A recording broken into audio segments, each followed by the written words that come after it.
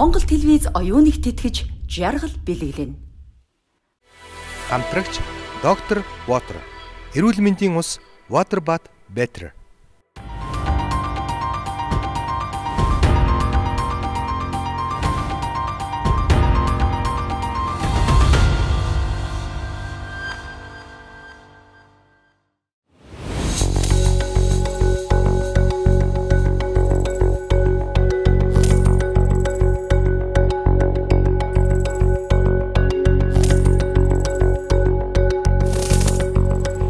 Өглөөний минь залуучуудаа кандидат нэвтрүүлэгтээ эргээд тавтан байна.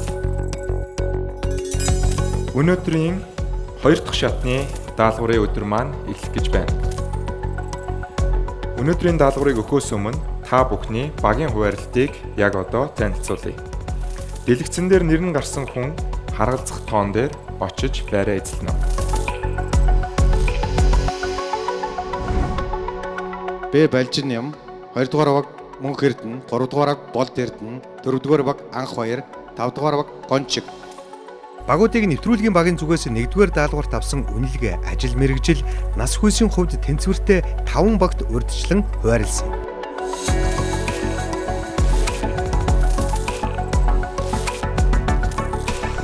Одоо даалгаврынхаа дүрм тайлбартаа танилцгаая.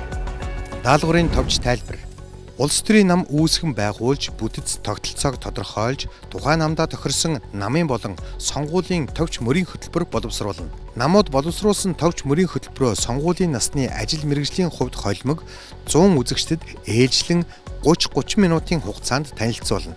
Бүх багууд мөрийн хөтөлбөрөө танилцуулж дууссаны дараа үзэгчид сонгуулийн шинэ хуулийн дагуу нам болон оролцогчдод санал өгнө. Саналын хуудсанд бичигдэх намуудын дараалал болон мөрийн хөтөлбөр танилцуулах дарааллыг багуудын материалаа хүлээлгэн өгсөн дарааллын дагуу шийдвэрлэнэ. Үзэгчдээс хамгийн олон санал авсан цор ганц баг ялагчаар тодорхвол үлдсэн дөрвөн баг дундаас экспертүүдийн үнэлгээ болон санал хураалтын дүнгийн үзүүлэлтийг тус тус үндэслэн хасагдах оролцогчдыг тодруулна. Даалгавар байна уу? Мэдээж та бүхний дунд өөр өөр салбарын янз бүрийн мэдлэгтэй хүмүүс байгаа. Та бүхэн бүгдийг мэдэх албагүй. Тиймээс өнөөдөр та бүхэн зориулан продакшны багийн зүгээс улс төр, эдийн засаг, хууль эрх зүй, хүний эрх, хөгжил гэсэн сэдвүүдээр ментор зөвлөгөө өгөх зочдыг урьж авчирсан байна. Гэхдээ нэг баг ердөө хоёр сэдвийн хүрээнд тус тус 15 минутын хугацаанд ментороос зөвлөгөө авах ёстой. Харин нэг ментор 3 багт зөвлөгөө өгч болно. Яг одоо та бүхнийг хурлын өрөөндөө очиж өнөөдрийн даалгаврын ахлагч буюу ментор зөвлөгөө авах хоёр гишүүнийг нам байгуулахад танаа баг шаардлагатай байгаа мэдээлэл мэдлэгийг тодорхойлж аль хоёр сэдвийн дагуу зөвлөгөө авахаа шийдэх, хилцүүлэг өрнүүлэх цаг ирлээ. Түүний дараагаар 10 цаг 30 минутаас эхлэн менторуудын туслахтай утсаар холбогдож ментортой уулзах цагаа бүртгүүлнэ. Төрүүлж холбогдож чадсан баг төрүүлж сургалтаа авах боломжтой болно. Ингээд та бүхэнд амжилт хүсье.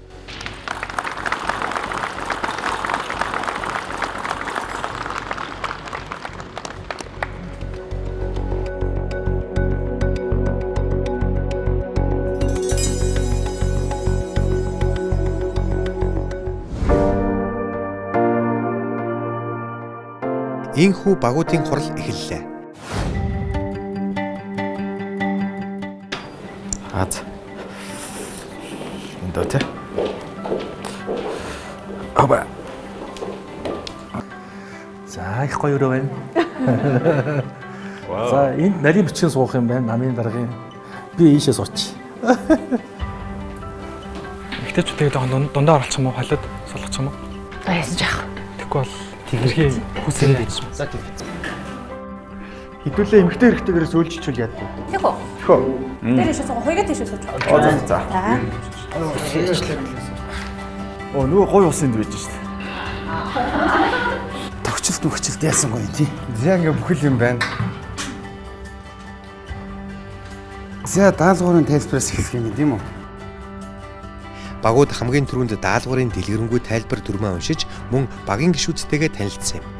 Харин одоо тэд хамгийн түрүүнд намын дарга сонгох ёстой. Нэгдүгээр багийн хувьд 3 оролцогч намын даргад нэр дэвшиж нууц санал хураалтын үр дүнгээр намын даргыг тодрууллаа. Хамгийн өндөр санал хураалтаар Сумья бид хүн намын дараагаар томлог одоо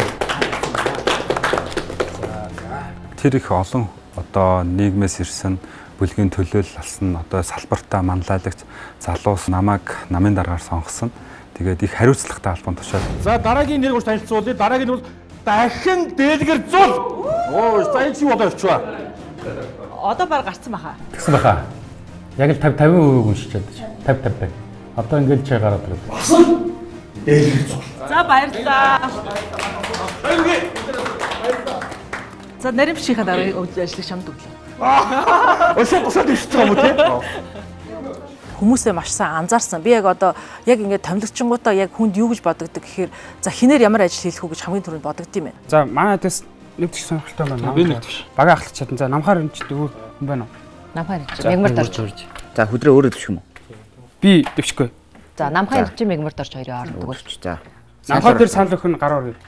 А харин илүү за за хэл. За намхаар илэр л явчихна. Өөр дөр өгнө шүү. Өөр дөр өгч болно. 1 2 3 4 5 6 7. За цаг болцсон. Намхаар ирж бага ахлах болно. Барин үгүй. За мөн Төрөл бүрийн өөр өөрийн үзэл бодолтой эдгээр хүмүүсийг нэгтгээд нэг нам за нэг баг болгоо удирдах явна гэдэг бол а бас мэдээж тодорхой хэмжээний бэрхшээл бол тулгарна. За окей. За за за сонгуулийн үр дүн гарлаа манайха юу? тэнцсэнгүй гэж. Нийт ирж 100% байсан. За саналаар юу гэж олонхын саналаар дийлэнх болгоны саналаар шууд ячаа тий. Ингээ ингээ та өхнийхээ хүндслийг бүлээн. Араа сонгосон байгаа шүү дээ. За ингээд хамгаа гардуулж байна. Үг хэлэх боломжуудыг гаргана, санааг нь уралдуулна, цэгцтэй ингээд даргалж явна. Тэрэн дээр л одоо манлайлалаа харуулах юм байна л гэж ихний ээлжинд бодож илаа. 5 дугаар багийн хувьд намын дараагийг сонгох үйл явц баг зэргийн маргаантай өрнөлөө.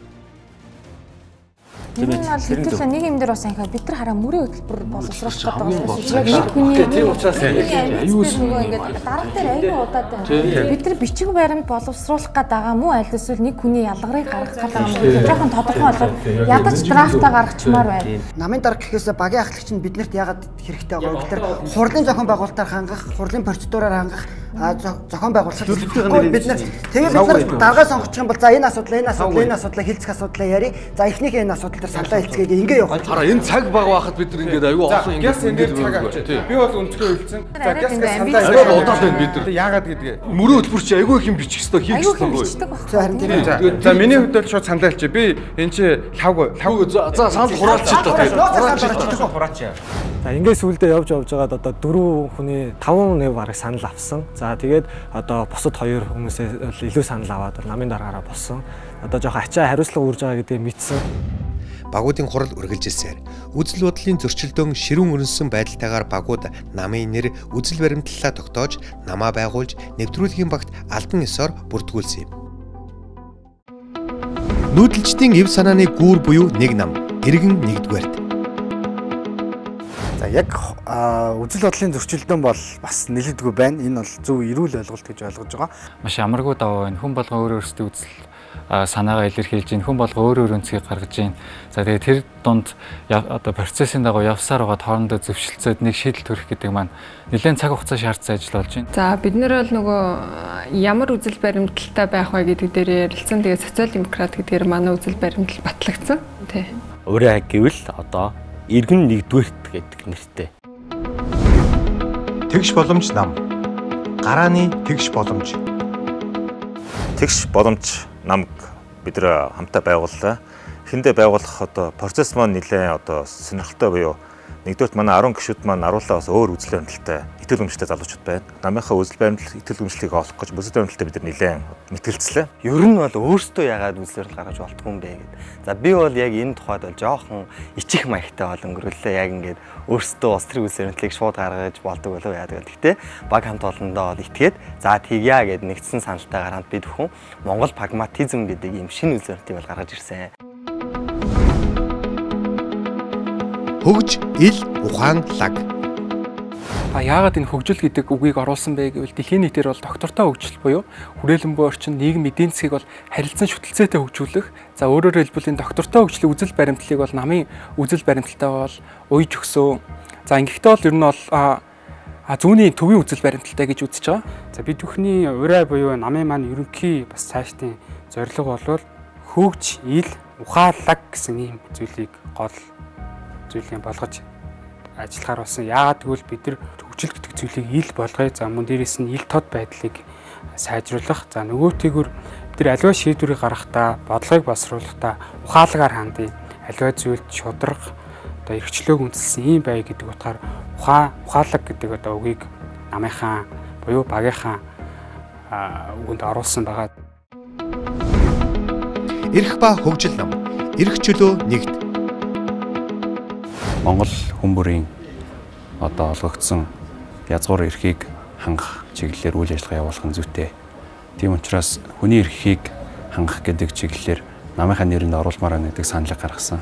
За тэгээ бид нэр багаараа хилцэж хагаад ерөнхийдөө эрх ба хөгжил гэдэг намын нэрийг сонгосон гэж байна. Баруун төвийн үзэл баримтлаггээд сонгоцсон учраас төврүүг арай илүү одоо ойртсон байгаа учраас аль болох тэр нөгөө нэг шууд тас тас зөхиод одоо ийм байх хэрэгтэй, ийм байх хэрэгтэй. Энэ ахмад настай ийм хөгжлийн үршилтэй гэдэг юм ийм үйлчлэг авах шаардлагагүй хүмүүс ингээ орхичих юм бол ийм байдлаар хөгжнө гэдэг ийм тайлбарт бас автахгүй байхыг хичээж байгаа. Яг гэвэл бид нар энийг бас нийгэмд үүсэж байгаа асуудал гэдэг өнцгөөс нь авч харж энэ дээр бас санаа бодлыг оруулаад явж байгаа. Тэрэн дээр ахламж ахлагч маань ч гэсэн бас тэр байр суугийг бас шууд тасрахгүйгээр ингээл яг баг олоод ингээд явж байна. Хөгжил инновац технологи буюу хит нам. Хөгжилд инновацаар инновацийг технологиор тал талын байр суурь илэрхийлээд нэлээд хүчтэй маргалдлаа. Бид бол эхний ээлжинд үжил баримтлал ямар байх вэ гэдэг дээр бас нэлээд хугацаанд ярилцсан. Үжил баримтлалаа бол бид нар одоо зүүнний чиглэлийн нам баяа, социал демократ үжил баримталтай нам баяа гэдэг дээр тогтсон. За үндсэн нэрээ сонгохоос өмнө бид бас яг ямар төвчний нам байх вэ гэдэг дээр бас нэлээд ярилцлаа. А намын нэрийг бид нар хөгжил инновац технологи гэсэн нэр бол сонгосон. Нэрээ дагаад үжил баримтлаа дагаад бүх шийдвэр маань технологи, инновац, шинжлэх ухаан гэдэгт тулгуурлаж явж байгаа буюу бид нэр илүү бодиттой дата мэдэн дээр тулгуурласан буюу Монгол улсын шийдвэр гаргагчид ийм байгаасаа гэж хүсдэг байсан тэр намыг бидний хамт оролцсон, миний хамт оролцож хийсэн нам маань энэ чиглэл рүү явсны хувьд бол баяртай байна. Багууд хурал эхлэхдээ зэрэгцсэн нам байгуулах мөрийн хөтөлбөр боловсруулахад өөрсдөд нь дутагдж буй мэдлэгийн хүрээнд зөвлөгөө авах менторуудыг сонгож тус тус цаг авсан. Тэрхүү цагийн хуваарийн дагуу багуудыг төлөөлөх гишүүд хурлынхаа дундуур менторуудтай уулзаж мөрийн хөтөлбөрөө боловсруулах талаар өөрсдийн сонгосон менторудаас зөвлөгөө авлаа. Багуудад ментор зөвлөгөө өгсөн хамгийн ихний зочин бол Монгол Улсын их сургуулийн улс төр судлалын тэнхимийн профессор доктор стратеги академийн захирал улс төр судлаач Бумдэр байлаа. За бас нэг асуулт нь юу гэхээр яг мөрийн хөтөлбөр төр ч юм уу яг амжилттай намуудыг хийдэг зүйлүүд нь юу байдیں۔ Харин хийж болохгүй зүйлүүд нь яг энийг өстой ажиллахгүй шүү гэсэн юмнууд бас юу гэдэг. Тийм. Ер нь бол ингээд нөгөө олон жил болж байгаа урт хугацаанд болж байгаа намуудын гол шинж юу байдаг вэ гэх юм бол хөгжлийг авчирсан байдаг гэсэн. Мөрийн хөтөлбөр хэрэгждэг байх уу зах хэрэгтэй гэсэн. Хамгийн нэгдүгээр шаардлага. Аа тэгтээ нөгөө бас Монгол Улсын хуулиар бүх юм зохицуулагдсан байгаа юу вэ гэхээр хит попперч болохгүй үүднээс Монгол улсын алсын хараа хөгжлийн бодлого те төсвийн одоо зохицуулалтын хуулиуд өдөртэй бол заашгүй нийцсэн бэ тийм үрийн хөтөлбөр хийх ёстой гэдэг шаардлага болчихсон байна. Далсын хараа 25 хөгжлийн бодлоготой бол бид нэр заавалчгүй нийцүүлэх ёстой гэсэн. Өөр бас олон баримтчуд байгаа. Ганцхан тэр бол биш те. Тэгэхээр нөгөө ийм худлаа амлалт хийхгүй байхын төлөө ийм хуулийн зохицуулалт бол орж ирдэг гэж ойлгож байна. Намын болон сонгуулийн мөрөг хөтөлбөрийн ялгаа юу вэ? Нэг гэсэндөө бодлогынх нь алсын хараа гэж ойлгож болно гэсэн. Тэгээ зарчим нь гэж ойлгож болно гэсэн. Намын хөтөлбөр болохоор. Аа сонгуулийн мөрийн хөтөлбөр гэдэг маань болохоор 4 жил тутам хэрэгжих. Гэхдээ намын үдэл баримталтаар суурилсан тэр намын хөтөлбөрийг аль зорилтыг биелүүлэх вэ гэдгээр орж ирдэг гэж ойлгож болно гэсэн. Энэгээр ялгаа. Хүн болгон аливаа ойлголтыг өөр өөрийнхөө хүлээж авдаг. Ийм учраас ойлголтын зөрүүтэй холбоотой шийдвэр гаргалтанд бол нөлөөлдөг. За өөрөөр хэлбэл хоёр зөвлөгөө авсан оролцогч маань, за манай намын гишүүд маань, за бид бүхэнд бол нэгдсэн мэдээллийг бол өгч, нэгдсэн ойлголтод бол хүргэж өгсөн. За та нар сонгуулийн мөрийн хөтөлбөрийг бичихтэй а мэдээж хэрэг бүгдийг нөгөө намын хөтөлбөрийг оруулж иж болохгүй. Яг л 4 жил учраас. Тэгэхээр тодорхой хэдэн асуудлыг авч болно гэсэн үг. Аа эсвэл үндэсний хэмжээнд одоо ярина гэвэл бүх салбарыг ярих болох гэсэн үг. Тэгэхээр нөгөө намын чинь нөгөө нэг одоо бүтэц а доторх одоо дөрмийн асуудал үндэсний хэмжээнд тэлж чадсан нам үгүй юу гэдгээс чинь шалтгаалаад юу барьж орох вэ гэдэг чинь шийдэгдэнэ гэсэн үг. Ерөнхийдөө товч мөрийн хөтөлбөр учраас аль болохоор авсаарах юм те. Мөрийн хөтөлбөрийн чинь гол зорилго хууль болгож батлуулах байхгүй. Эсвэл хуулийн өөрчлөлт их гэдэг зүйлийг л одоо мөрийн хөтөлбөр чинь илэрхийлждэг гэсэн үг байхгүй юу. Тэгэхээр зэрэг тэр маань өөрөө гараад манайх засгийн газарт энэ маань бодлого бол орж чаднаа. Засгийн газрын 4 жилийн одоо үйл ажиллагааны чиглэл болгож бид нар батлуулж чаднаа гэдэг энэ одоо зүйл чинь байж чадах юм бол нэг асуудлыг авч орж ирж болно. Гэтэл санал авч чадсан ч гэсэндээ цөөнх олчвол батлагдахгүй. Тэ? Тэгэхээр ингээд тийм бүх юм ингээд сайн тооцоолж жагаад ямар хэлбэр хаа. Хэрэг бүр болохгүй бол эвсэл бас болж болдог. Үдэл баримтлаараа ингээд чиглэгдсэн те нэг одоо хавтгаад байдаг намууд гэсэн үг шүү дээ. Багуудад зөвлөгөө өгсөн дараагийн ментор бол хууль зүйн үндэсний хүрээлэнгийн захирал Монгол улсын шүүхийн ёс зүйн хорооны гишүүн хуульч Номин Гэрэл. За бид мөрийн хөтөлбөр боловсруулах явцад одоо бас хамгийн түрүү мэдэх ёстой зүйлүүд үзсэн бэ гэхээр намууд мөрийн хөтөлбөр гаргахдаа боловсруулахдаа нийтлэг гаргадаг алдаанууд юу вэ? Хууль эрх судлаас. Үндсэн хуулийнхаа хүрээнд л огтох асуудал ш. Улс төрийн намж үндсэн хуульд арчлалын хүрээнд үйл ажиллагаа явуулж байгаа ш. Тэгэхээр тэн дээр байгаа арчлалын зарчмууд, тэн дээр байгаа эрх зүйн ёсны зарчмууд, үндсэн хуулиараа хамгаалагдсан хүний эрхтэй. За нөгөө талаар мэдээж үдэ олон улсын гэрээ конвенцийн хүрээнд хамгаалагдсан хүний эрхийн зарчмууд байна ш. Хүний эрх баталгаатай адилх хэвээр. Тэгэхээр тэр эрхүүдийг хэрхэн хэрэгжүүлэх тий гол платформ л одоо үндсэндээ өмөрөө хөтөлбөр дээр тусгана ш. Тийм болохоор хуулийн талаас гэж харах юм бол одоо тэр үндсэн хуульд арчлалынхаа үндсэн суурь зарчмуудыг үүсгээгүй байх нь чухал болохоос биш тодорхой одоо юу гэдэг хууль зурцсан асуудал баг хууль дээрх арчлалынхаа мөрд зүйлүүдийг үүсгэсэн байж болохгүй. Тийм. Өөрөөр хэлбэл энэ үндсэн хуулийн дэглэмээ бид нар алдаж болохгүй шүү дээ, тийм. Ер нь одоо нөгөө нэг хууль бус амлалт гэж одоо юу бид нар хэлээд байгаа нөгөө ямар амлалтаа бид нар яг хууль ёсны амлалт гэж ялгаж харах уу?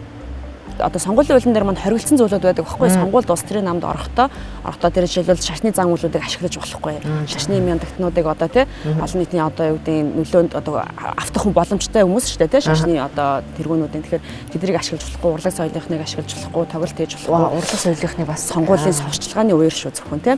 Аа тэгээд юу гэдэг бэлэн мөнгө тараах үн одоо хямдруулж эзүүлэх одоо өгөх ч гэдэг юм уу тий тэдгээр зүйлүүдийг хориглосныгоо л хийж болохгүй гэж бид нар хууль бас сурчлагын амлалтын өрөөнд ойлголдог л доо. Багуудад үнтэй зөвлөгөө хүргэсэн менторуудын нэг нь Монгол Улсын их сургуулийн эдийн засгийн хүрээлэнгийн захирал доктор профессор Цэвэлмаа нар байсан юм.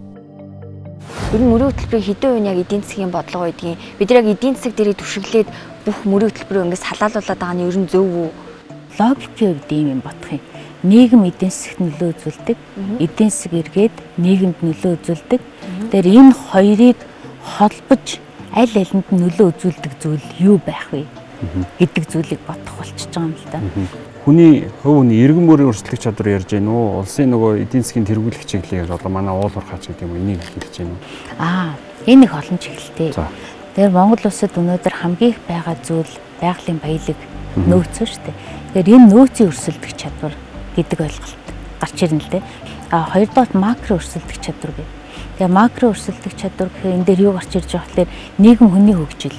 Энэ улсын хэмжээнд авч үзэх асуудал тий энэ улс төрийн институт улсын хэмжээнд авч үзэх асуудал а төсөв мөнгөний бодлого бас улсын хэмжээнд авч үзэх тий а гурав дахь нь микро өрсөлдөх чадвар. Одоо та хоёрын эхний ярьсан нөгөө эдийн засагтаа бид нэр илүү хөгжүүлэх гэж байгаа гэдэг чиглэлд энэ компаниуд нь ямар стратегтэй байх юм а энэ компаниудын салбаруудын хооронд нь яаж холбох юм а энэ компаниудын ажиллах бизнесийн орчныг яаж сайжруулах вэ гэдэг. Тэгээ өнөөдрийн бидний хамгийн их дутагддаг зүйл нь энэ микро эдийн засгийн өрсөлдөх чадвар байгаа байхгүй. Тийм ээ. Тэгээ эн чинь гол нь үйлдвэрүүд ажиллах чинь гарч ирнэ шүү дээ тийм ээ. Компаниуд илүү өрсөлдөх чадвартай болох. Тэгээ энэ талаас бодоод үзгүй. Ер нь бол яг бидний гаргацсан санаж одоо юу гэдэг дурдж исэн асуудлуудыг одоо манай хоёр ментор яг одоо мөрийн хөтөлбөртөө тусахын зүйтэй ийм бодлого барихын зүйтэй гэдэг байдлаар гаргаж өгсөн, хэлж өгсөн. Тэгэхээр энэ хэлж өгөхдөө яг нь системийн хувьд, бүтцийн хувьд бол эренб дарааллыг нь тодорхой тусгаж өгсөн. Тэгэхээр энэ менторуудын маань зөвлөгөө бол бас их үр дүнтэй, хэрэгцээтэй байсан гэж би бол бодож байгаа. Хүний эрхийг хангах үндэсний хорооны нарийн бичгийн дарга бөгөөд ажлын албаны дарга болор сайхан мөн хүрэлцэн ирж оролцогчдод зөвлөгөө өгсөн билээ. Ясгаа давхар энэ дотор заавал одоо нөгөө мөрийн хөтөлбөр дээр дурддагдах салбар гэх юм уу, бүлэгийн асуудал гэх юм уу тэрний талаар та бас товчхон бид хоёрт сая зөвлөгөө нэмээд илүү. Хүний эрхийн мэдрэмжтэй байхын тулд яг хөглөр танаа мөрийн хөтөлбөр бол ямар ч тохиолдолд ялгарлан гадуурхсан байж болохгүй. Нийгэмд байгаа бүлгийг үл тооссон харахгүй, орхихгүй байж болохгүй. Иргэний өмнө үүрэг хүлээх юм бол бид нар иргэний амьдралыг сайн сайхан болгоё гэж байгаа юм бол бидний гаргаж байгаа шийдвэр иргэн бүрт ямар байдлаар тусгалаа болох вэ? Бид нар нэг асуудлыг шийдэхэд энэ нь өөр дам дамаа олон асуудлыг шийдэх юу ээж болох вэ гэдгээр тэр асуудлаа тодорхойлж харах юм бол их чухал гэж харж байгаа. Хүрээлэн буугаа орчин нийгэм эдийн засаг гэдгээ та бүхэн зэрэг авч яваарай. Зөвхөн эдийн засаг, эдийн засаг, эдийн засаг гэхгүйгээр бид нар байглаас хамааралтай нийгэмд амьдардаг. Энэ маань өөрөө эдийн засагтаа уялдаатай гэдгээс нь харуул оновчтой болов гэж хэлмээр байна. Мөрийн хөтөлбөрийн тухайд.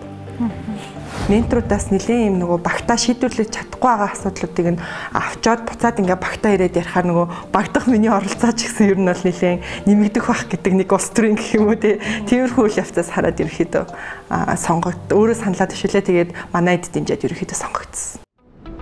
Ингээд багууд менторудаас авсан зөвлөгөө болон өөрсдийн мэдлэг туршлагад үндэслэн сонгуулийн мөрийн хөтөлбөрүүдэд боловсруулж эхэллээ. Товч мөрийн хөтөлбөр гэж байгаа тийм. А тэгэхээр юу юугүй урт байхгүй. А мөрийн хөтөлбөрөөр танилцуулахдаа миний бодлоор юм нарны цэцэрэг загвартай байвал илүү одоо аятайхан бөгөөд эмх цэцтэй харагдах юм болоо гэж бодсон. Тэгэхээр 6 сэдв дотроо ихтэй магадгүй 3 зорилтыг төвшүүлнэ. Ингээд ийм товчгоо явуучвал эмх цэцтэй бөгөөд одоо энэ дээр баяжлуулаад ерөнхийдөө араам гаргах гэдэг хөө. А сонгуулийн мөрийн хөтөлбөр бол ингээд попрох хүнд сайхан сонсогдох гэхээсээ илүүтэй яг ботдоор манай оронд тэр одоо нийгмийн зорилтод болон салбарын тулгамдсан асуудлыг одоо манай багийн гишүүд гаргаж ирж байна. Бидний хэрэгжүүлж байгаа бүхэл төрлийн үйл ажиллагаа маань одоо нийгмийн бүх бүлгийн эрх ашгийг хүндсэн, эрх ашгийг төлөөлсөн ийм мөрийн хөтөлбөр болж чадж байгаа гэж бол миний хувьд бодож байгаа. Манай багт 11 хүн байснаар давуу тал бол байсан гэж бодож байна. А мэдээж нөгөө нэг би тэгэд мөрийн хөтөлбөрт нэлээ өргөн агуулгатай болохоор тэр болгоныгоо хуваагаад багт ажиллуулахад бол нөгөө хүний илүү чинь бас нэг санаа оноо байгаа шүү дээ. Тэр бас байсан. Би маш олон тохиолдолд дээр нөгөө нэг өөрийнхөө боддог сандаг яг үзэл бодлын эсрэг бодож сэтгэх шаардлагатай болж байгаа. Одоо би болохоор яг баруун төвийн буюу нэгэн тийм либерал, либертар хандлагатай тийм санаа бодлуудыг тээж явдаг. А тэгэхээр би саналаа хэлэх, санал өгөх, дэмжихэд жоохон хэцүү байгаад зарим тохиолдолд төдөлзөж өнгөрч байгаа юм талууд бол байгаа. За мөрийн хөтөлбөр рүү одоо оръё. Одоо хэдүүлээ Word дээр ерөөсө бүх юмаа бичиж. Тэгэхгүй нөгөө нэрнээсээ өсвөлээ. Дараа нь дизайн дээр ажиллах бол гайгүй шүү. Тэгээ copy paste тэгээ ажиллаж. Тэгэхээр Word дээр нэг файлаа үүсгэх. Манай хүн үүсгэх. Энд чи авч байгаа бичих. Тэгээ. Окей, баярлалаа уянга. Яг манахнаас шивэх үү ерөөсө олдохгүй гарсан. Харин тийм ээ дандаа дарга болчоод ерөөсөө шивэх. Уянга сайн шивэх баха. Окей. За би одоо нөгөө 5 чиглэлийг гаргаж ирнэ. Тэгэхээр хэдүүлээ 5 чиглэл дээрээ мөрийн хөтөлбөрүүдээ сая зөвлөхүүдээс өгсөн зүйлүүдийн дагуу гоё факт факттай, нотлогоотой одоо бол намынхаа яг гол нөгөө үйл ажиллагааны чиглэл мөрийн хөтөлбөрийн деталь асуудал руу бид ороод ингээд яриад явж байна. За анхан шатанд намаа танилцуулаад ерөнхийдөө горилла тактик гээд улс төрчд маань яг ингээд хүмүүстэйгээ тулж ажиллах энэ тогтолцоог сонгож авсан. Одоо ийм байгаа юм. За та хэд доктортой хөгжлөө гэдээ ярих юм бол өмнө дурдсанчлаа. За нийгэм эдийн засаг, хүрээлэн буй орчин гэсэн энэ гурван салбарыг яг жиг давч авъя. За мэдээж даалгавар учраас хугацаа бол их давч байдаг юм байна. Яагаад гэвэл нөгөө зохион байгуулалтын асуудал за ойлголтоо нэгдсэн болгох гэдэг дээр бол хугацаа бол мэдээч алдлаа. Аа бидний зүгээс тухайн одоо биднийг одоо шүүх тэр хүмүүст яг ямар одоо чухал зүйлийг бид нэр гаргаж иж ярих юм бол илүү үр дүнтэй байх юм бэ гэдэг дээр илүү их ярилцлаа. Доктортой хөгжлийн зорилтын агуулгын хүрээнд одоо намын мөрийн хөтөлбөрөөр боловсруулж байна. За үүнд бол урт хугацааны болон богино хугацааны мөрийн хөтөлбөрүүдэд гаргаж ирлээ. Шалгуур үзүүлэлтийг нь бол дэлхийн стандартад нийцсэн буюу босод улс оронтой жишиж хэмжиж болох үз үзүүлэлтээр гаргаж ирснээр онцлогтой байгаа. Эдийн засаг нийгэм улс төрөөр ингээд баг бага хуваачвал яа тий 3 бол болж байна уу? 3 хуваа. Тий. Тэгээд мөрийн хөтөлбөрөөр хуваагдах юм уу? Эсвэл одоо чөлөөлтийн баг, гүйцэтгэлийн баг, сайжруулалтын баг мар гэдэг. Ер нь яг заавар дээр бол бид нар хамгийн гол юм нь бол мөрийн хөтөлбөр байна. Тийм мөрийн хөтөлбөр байна. Яаж боловсруулах юу салбараар ажлын хэсгээр хуваагдсан гэж бодож байна. За би одоо эдийн засгийн салбар салбараа хариуцлаа. Нийгмийн чиглэлийн боловсрол. Би бол нийгмийн салбарын боловсрол яриад байна. Эрүүл мэнд боловсролын асуудал ч одоо харин зай болчихж байна шүү дээ. А хууль улс төрч талбар чинь бид одоо бид болоод явчих юм тийм үү? Ёс зүйтэй хариуцлагатай ажил чадна гэдэг ихтгэл дүүрэн залуучуудтай ингээд хамтраад улс орныг хэрхэн яаж хөгжүүлэх үү гэдэг бодлого мөрийн хөтөлбөр дээр ингээд хэлцээд сууж яхад бол үнэхээр тэр залуучуудын мэдлэг чадвар үзэл баримтлал одоо авиас бэлэгт бол үнэхээр их талархалтай байсан. Тэдэнтэй ярилцаж санаагаа нэгтгэж байхад хэлцэж байхад гоё байсан. Төвчээр шаардсан процесс гэдэг нь юу бодлогын чанартай ажиллана гэдэг чинь тэгээд би уг нь бодохдоо нөгөө нэг амьсгалахаас эхлээл хүний нэг амьд явах эрхээс нь эхлээл хойшоогоо хөөгөө явчихдаг юм болов гэсэн чинь бас үгүй юм шиг байна. Тэгээд одоо юу юм дээ. Чих онгоогоо л суугаад ин тэгээд над тал сонирхолтой. Тэгээд бас их юм сурсан байдалтай байна. А ерөнхийдөө би болохоор нөгөө нэг яг нэг том корпорацид ажилладаг болохоор яг ингээд юмыг нөгөө илүү ингээд яг л хийх ёстойгоор нь хийдэг ч юм уу те иймэрхүү ажлын арга барилыг би хүсэн хүсээг өнгөө сурцсан. Мэдээж олон хүмүүс өөр өөр үзэл бодолтой хүмүүс нэг ерөнхийдөө ингээд энэ тэндээс ярьчих гээдсэн болохоор яг ингээд яг цаас аваад ч юм уу те бал аваад яг ингээд самбар дээр бичээд багаа зохион байгуулад явсан. За хөгжил инновац технологийн нам тий. Тэгэхээр бид нар юг хөгжүүлэх юм? Бид нар засаглалыг хөгжүүлээ, нийгмийг хөгжүүлээ. Энэ дээр төвлөрөөд юм надад тавь. А бид нар юунд инновац хийх юм? Энд инновац, энд инновац, энд инновац. Бид нэр юг технологиор дэмжих энд энд тийм үндсэн 10 багц дээр тэн дээр биччихээ та дахиад хэлээд өгч төхөө нүдэнд харагдчих тий. Яг наатад. Тэгэхээр тэгэхээр бид нар намынхаа нэрийг үндсэндээ ингээд аваа явчин. Тэр нэмэл суулгын ер нь гол point байна. Ер нь шүү. Бид юг гээд байгаа. Бид юг инновац хийх гээд байгаа. Системтэй явахгүй амар сонирн байна. Зүг зүг зүг зүг. Nice. Хөгжил инновац технологи нэгсэндээ хөгжлийг инновацаар инновацыг технологиор гэдэг ийм задлах зарчимлуу явж байгаа гэсэн. Шин бөгөөд илүү гэгээлэг, илүү ойлгомжтой, илүү найдвартай ийм мөрөг төлбөр харагдах байх гэдэгт бид итгэлтэй байна. Ер нь дэлхийн нийтийн чиг хандлага яаж явж байгаа юм? Улс орны маань чиг хандлага яаж явж байгаа юм хөгжил одоо яг юун дээр толгуурлаад юун дээр суйрлаад байгаа юм гэдэг дээр бодс нэлээ ач холбогдол өгсөн хүний хөгжлийг бол нэгдүгээр тэргүй нэгнд бол тавихыг хүсэж байгаа. Улс орны хөгжил гэдэг бол ямар нэгэн дид үтц бүтээн байгуулалт барилга байшин том төслөөр бол хэмжигдэх ёсгүй. Хүн болж хөгжиж төлөвшөх одоо энэ асуудал бол нэг тэргүй нэгнд байх хэрэгтэй. Ингэсний дараа тэр бие хүн болоод тухайн одоо улс орондоо хөгжилд төв нэмэр оруулах хуц хэмжээнд бол очиж чадна гэж харж байгаа. А ер нь яг нэрнээс харах юм бол залуучуудад хандсан юм шиг тэр нам байгаа. А гэхдээ энэ л насаар нэш залуу залуу сэтгэлгээтэй хүмүүс рүү илүү чиглэсэн гэж харж байна. Тэгээд одоо сонгогчдын дийлэх нь одоо бидний дэмжнэ гэдэгт итгэлтэй байгаа. Ер нь ингээд нөгөө зөвхөн нэг өнцгийг биш нөгөө айгүй олон талын өнцгүүдийг ингээд харсан эргээд нөгөө хүргэх үр дүн мөн ингээд нилээн ингээд нөгөө системтэй явснараа манай манай баг бол нилээн давуу талтай авах гэж би байна. Бүтнийг өдрийн турш багууд ухаанаа уралдуулж, мэтгэлцэж, санал хураасны эцэст сонгуулийн мөрийн хөтөлбөрүүдэд боловсруулж, иргэдэд танилцуулах материалаа бэлдэж дуусгасан юм. Ингээд кандидатууд маргааш өөрсдийн бүтээсэн мөрийн хөтөлбөр танилцуулга иргэдэд хэрхэн хүргэхийг харахад үлдлээ.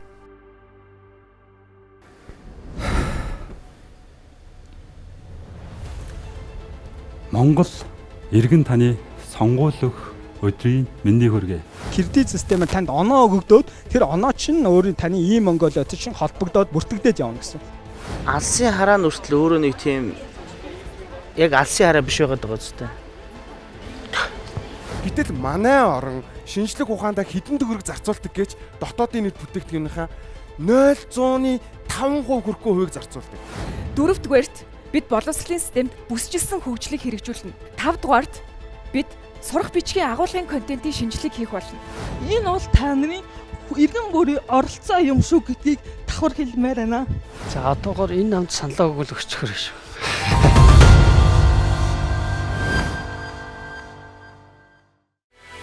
Хамтрагч UB Cab Rent аялал эхэллээ.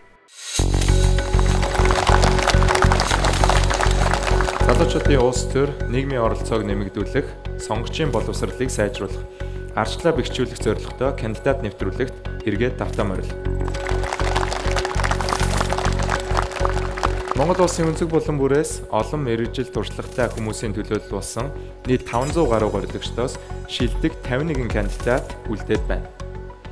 Тэд энэ даалгаварт 5 багт хуваагдан улс төрийн нам үүсгэн байгуулж, бүтэц тогтолцоогоо тодорхойлж, тухайн нам тохирсон намын болон сонгуулийн товч мөрийн хөтөлбөр боловсруулах даалгаврыг гүйцэтгэсэн байгаа. Харин одоо тэд гүйцэтгсэн даалгавраа та бүхэнд танилцуулах болно. Та бүхний өрөөг бол эдгээр кандидатуудын танилцуулсан мөрийн хөтөлбөрийг санал хураалтаар дүгнэх. Хариуцлагатай улс төрийн оролцоотой иргэний үүргээ биелүүлж, сайтар танилцж байж саналаа өгөхийг хүсье мөн багуудыг мэрэгжлийн экспертүүд болох хүн намын удирдах зөвлөлийн гишүүн Сансэр, Арчилсан намын Дэдрэг Жаданба, Монгол Ардын намын Хяналтын ерөнхий хорооны дарга Баярбаатар нар давхар үнэлж дүгнэхий. Ингээд ихний бага тайзнаа урж байна.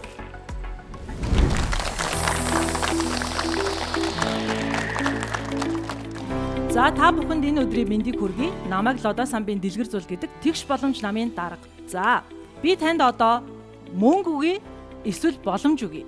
Та алийг сонгох вэ? Мөнгийг сонгож байгаа хүн байвал босоо зогсно уу? Нэг ч хүн босохгүй байна. За тийм. Яагаад гэвэл бид нар өнөөдөр хэрвээ мөнгийг авчих юм бол гараад үрээд дуусчих чинь. Хэрвээ бид нар боломжийг авах юм бол тэр боломжоор бид нар мөнгө өсгөж болох нь. Тэгэхээр энд цугласан та бүхэн манай намын гишүүд бүгдээрээ яг нэг үнэт зүйлтэй байх нь. Энэ юу вэ гэвэл хэрвээ бидэнд тэгш боломж байх юм бол бид нар сайхан амьдарч чадах нэ. Манай нам бол Монгол прагматизм үзэл баримталтай нам. За энэ нь юу гэсэн үг вэ гэвэл нүүдэлчин соёл дээр тулгуурласан, практикт суурилсан бодит нөөц болцоогоо бид нар үнэлээд энэ дээрээ үндэслээд бодлого боловсруулахад чиглэсэн байх нэ. Манай намын нэг онцлог болвол бид нар чанарын менежментийн тогтолцоонд сулгуурласан Монгол улсын цорын ганц нам байх нэ. Манай намын эрхэм зорилго бол амьдралын чанарыг сайжруулах, хүртээмжтэй боломжоор хангах инженерчлэлд суурилсан дид бүтцийг цогцлоох юм аа. Бид нар одоо амьсгалж байгаа агаар, ууж байгаа ус, явж байгаа хөрс манд цэвэр ариун байж чадж гин үү? Ийм орчинд бид нар эрүүл амьдарч чадах уу? Хүртээмжтэй боломж гэдэг нь юу вэ гэхээр хүн болгонд боломж адилхан биш байна яс үнс гарал угсаа үүнээс үл хамааран бүх хүн тэгш боломжтой болоосай гэж энийг зорьсон. Манай нам бол тасралтгүй сайжрахын тулд бусад намуудаас ялгаатай дарга төвтэй биш чанарын менежментийн багийн төвтэй нам юм. Энэ нь юу гэсэн үг вэ гэхээр энгийнээр хэлэх юм бол намын дарга хэн байхаас үл хамааран бидний энэ систем тасралтгүй өөрийгөө сайжруулад явж идэг ийм систем байгаад байгаа. Тэгэхээр манай тасралтгүй сайжилдаг системтэй багийн гаргасан мөрийн хөтөлбөртэй одоо бүгдээрээ танилцчихъя. Манай нэр дэвшигч 10 залуучууд та бүхний дунд ороод манай намаас тавьж байгаа мөрийн хөтөлбөрөөр танилцуулах болно. Ингээд эргээд бүгдээрээ тайзан дээр уулзцгаая. Баярлалаа. Савгсүр намайг Тодням гэдэг тэгш боломж намаас нэр дэвшиж байна. Нийт 6 мөр хөтөлбөр гаргасан байгаа. Нэгдүгээрт нь эрүүл аюулгүй амьдрах орчин гэсэн. Нэг жишээ Монгол улсад хүүхдийн хорт хавдрын хэмжээ сүүлийн 10 жилд 30%-аар нэмэгдсэн байгаа аахгүй юу? Тэгш боломж намын гишүүд хүрэлцэн ирсэн иргэдтэй биечлэн уулзаж боловсруулсан мөрийн хөтөлбөрөөр танилцуулсан юм. Яг үжил баримтлал бол тодорхойгүй байгаа байхгүй энэ. Монгол прагматизм гэж шинэ үжил баримтлал гэж тодорхойлж штэ сая. Яг энэ үжил баримтлал мөн үү гэдэг нь өөр асуудал. Нэг талаараа энэ талдаа бид нар баруун төв үзэл баримтлал халамж хэрэггүй гэдээ энд ярьж байна. Зүүн төв дээр нь халамж тодорхой төвшөнд байх ёстой гэдээ ярьж байна. Гэтэл яг энэ үзэл баримтлал нь өнөөдөр энэ хоёрыг хоёулыг нь үгүйсгээд яг юу ах вэ? Яг суур үнэт зүйл гэж нэг ойлголт байгаа шүү дээ. Яг төр оролцох ёстой мó, ёсгүй мó гэдэг суур асуудлыг хөндөхстой шүү дээ улс төрийн намч тэ. Тэгэд энэ нам төрийг бага оролцуулах гэдэг нь их оролцуулах гэдэг нь гэдэг гол асуудал руу ойлгомжгүй байна л да тэ алсын хараа нүртэл өөрөө нэг тийм яг алсын хараа биш байгаад байгаа зү. Шатрын зураг тавьчих. Би одоо шатар дээр л одоо эн чин ноён л үлдэн. Ноёноо хамгаалах гэж бүгд явдаг үстэй. Тэгэхээр чи ямар тэгш боломж байх вэ? Устрын нам чинь өөрөө үзэл баримтлал үзэл суртал гэж нэг хоёр юм байдаг байхгүй. Тэгэхээр одоо энэ шатар тавьсан эн чинь үзэл суртлын хувьд өөр унчаад байгаа байхгүй тий? Үзэл суртлын хувьд. Үзэл суртлын хувьд унчаад байгаа байхгүй. Эн чинь өөр нийцгүй байгаа дээ шүү дээ.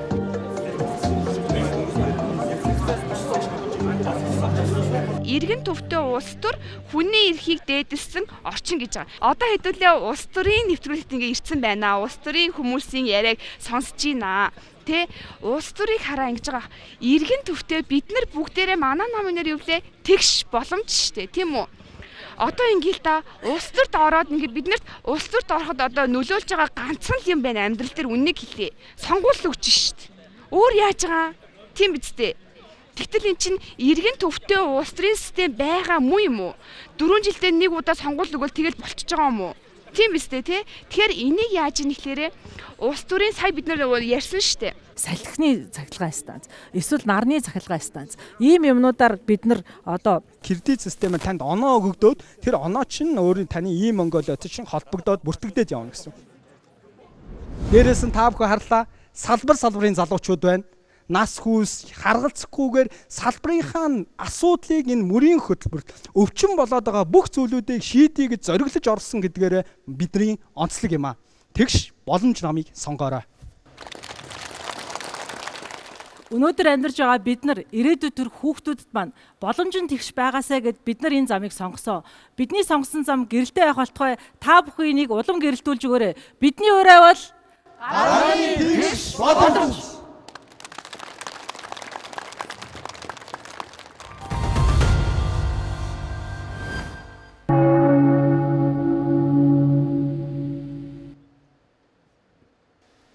Бидний амьдрал авь адилхан. Бидний хоолой дээр үг хүртэл нэг янзаар зангарч, бидний хазар дээр нулимс хүртэл нэг л янзаар бөмбөрч, бидний зам дээр авь адилхан учрал тохиолддог. Химэн Монголын нэрт яруу найрагч Дашвал руугаа нэгэнтээ хэлсэн байдаг. Тэгэхээр бид нэгэн агаараар амьсгалж, нэгэн дэлхийд амьдарч байгаа учраас бидний асуудал нэг юм аа. Монгол улсын хэмжээнд байгаа 115 мянган гаруй хөгжлийн бэрхшээлтэй иргэд тэдний ард байгаа 600 мянга гаруй иргэдийн асуудал. Бид нар энийг тусад нь асуудал гэж харахаасаа илүүтэйгээр энэ нийгмийн асуудал юм аа. Бидний асуудал нэг юм аа гэдгийг олж харж бодлого шийдвэртэй тусгасан энэ намаас нэр дэвшиж байгаа маа. Ингээд та бүхнийхээ өмнө нэг намын дарга ноён Цэ Сумья таныг урья.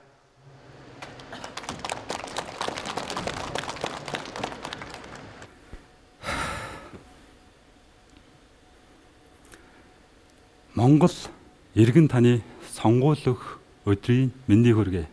Нүүдэлчд бид дэлхийн талыг эзэлж хүчрхэг Монгол улсыг байгуулж исэн түүхтэй. Гэтэл 21-р зуун буюу яг одоо бидний бүтээсэн эх орн минь аарын бохирдолтой, замын төвчрэлтэй, эрх мэдэлт нь авилгалт холбогдсон, хулгайчтай хариуцлага тооцож чадахгүй, хүнд суртал газар авсан албан тушаалын гинт хэрэг цэцгэлсэн ийм улсыг бид бүтээсэн байна. Энэ асуудлыг шийтгэхээр Монгол улсын өнцөг улмрээс нийгэм болон салбарын төлөөлөл болсон чин сэтгэл зүрх сэтгэлээрээ хөтлөгдөж энэ асуудлыг шийтгэхээр нэг нам сонгуульд оролцож байна. Нүүдэлчин бол Монгол үндэсний ялгарх онцлог. Бид эв санаагаараа нэгдэж хүчрэг Монгол улсыг дахин байгуулахын төлөө энэ сайхан нэмийг бүтээхийн төлөө гүүрэн болох нам бол нэг нам юм. Нэг нам бол иргэнийг цухалжилдаг социал демократ үзэл баримталтай нам билээ. Энэ нийгэмд үүссэн та бид нар эх орондоо ажиллаж амьдрах асуудлыг мөрийн хөтөлбөртөө нэг бүрчлэн чин сэтгэлээсээ тусгаж энийг шийдэхийн төлөө таван бүлэг үхээ хүний хөгжил, эрүүл мэнд, боловсрал, эдийн засаг, инновац ба шинжлэх ухаан 51 гэн зүйл мөрийн хөтөлбөрөөрөө парламентын сонгуульд та бүхний өмнө хичээнгүүлэн хичээн ажиллан гэдэгтээ итгэлтэйгээр оролцож байна.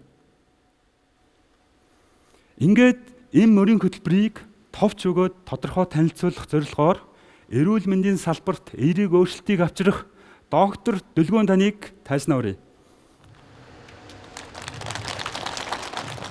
Нэг буюу нүүдэлчдийн эв санааны нэгдэл намын гишүүд үргэлжлүүлэн эрүүл мэндийн салбарт шинжилэл хийж төсвийг нэмэгдүүлэх тухай, боловсролын тэгш хүртээмж багш нарын амьдралын чадварыг нэмэгдүүлэх тухай, тэтгэврийн шинжилэл хийх тухай, орон нутгийн хөгжлийн талаар нүүдлийн өв соёл, аялал жуулчлалыг дэмжих тухай, залуучуудыг дэмжих хотхон бүтээн байгуулах талаар боловсруулан мөрийн хөтөлбөрөөр гишүүн бүр хуваан танилцууллаа. Нэг нам иргэнийг чухалчилдаг өрсөлдөх чадвартай хүчрхэг Монгол улсын сайхан нийгмийг бүтээсэн тийм нам байж чадах болно. Ингээд иргэн нэгдээ.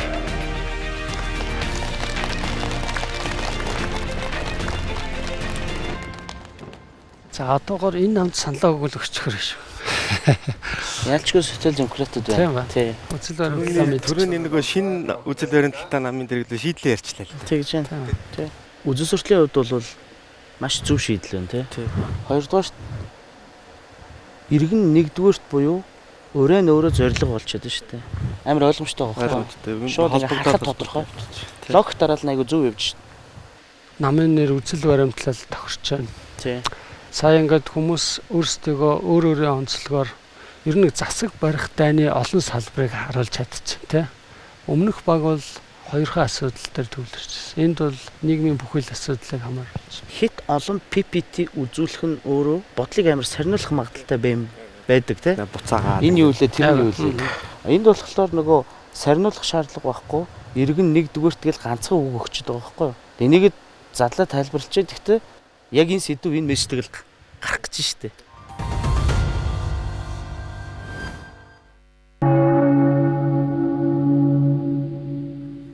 Сайн байцгаана уу? Та бүхэнд энэ өдрийн мэндийг хүргэе. Хөгжил тухайлаг намын дарга Мандахын намхайрчин байна. Энэхүү нийгэм, эдийн засаг, хүрээлэн буй орчныг харилцан шүтэлцээтэй хөгжүүлэх. Хүний эрх, эрх чөлөө, шудраг эсийг дээдэлж, ил тод байдлыг хангах хөгжил ухаалгаар хүрэх шийдлийг эрэлхийлж хөгжил, ухаалаг, урайтаагаар хун намын залуус бид альва шийдлийг илэрхийлэн намын хөтөлбөрөөр боловсруулан та бүхэнд танилцуулахад бэлэн боллоо.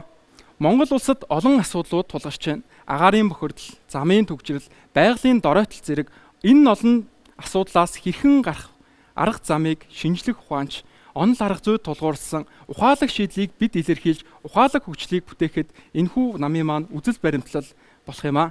Бид хүн төвтэй хөгжлийг илэрхийлж доктортой хөгжлийн үндсэн гурван тулгын чулуулах хүрээлэн буй орчин нийгэм эдийн засгийн асуудалд онцгой анхаарал өгч энэхүү доктортой хөгжилд хэмээх малгайн дотор намынхаа мөрийн хөтөлбөр болон сонгуулийн мөрийн хөтөлбөрөө боловсруулсан юм аа. Хөгжил тухайлаг намаас 3 гишүүн нь бусдаа төлөөлөн илтгэсэн бөгөөд мөрийн хөтөлбөрийн хүрээнд тусгай хамгаалалттай газрыг нэмэгдүүлж, үүнд зарцуулах төсвийг нэмэгдүүлэх байдлаар хүрээлэн буй орчноо хамгаалах, цэцэрлэгийн өмнөх боловсрал олгох системийг бий болгох, боловсролын салбарын судалгааг нэмэгдүүлэх, үүнд зарцуулах төсвийг нэмэгдүүлэх, аймаг бүрийг тус тусын онцлог тааруулан үйлдвэрлэгч болгон хөгжүүлэх нөхцөлийг бүрдүүлэх талаар боловсруулсан мөрийн хөтөлбөрөө тус тус танилцууллаа. Мөн тэд энэ бүхэн биелэхэд хувь хүний хөгжил хамгийн чухал гэж үзэн академик болон зүрх сэтгэлийн боловсролыг иргэдэд хэрхэн олгож нийгмээ хөгжүүлэх тал дээр өөрсдийн саналаа дэвшүүлсэн юм. За тэгэхээр энэ хум болвол тэ нэр цэвэр ирээдүйд бид нар сэтгэл дотроо яг энэ саналны доор нуугдсан байгаа. Энэ гэрэлт ирээдүйг бид нар хамтдаа нэгэн нийтийн төлөө нийт нэг одоо нэгнийхээ төлөө бид хамтдаа нэгдэж хүн болон гар бие оролцох боломжийг өөрсөндөө олгоор энэ бол та нарын иргэн бүрийн оролцоо юм шүү гэдгийг давхар хэлмээр байна.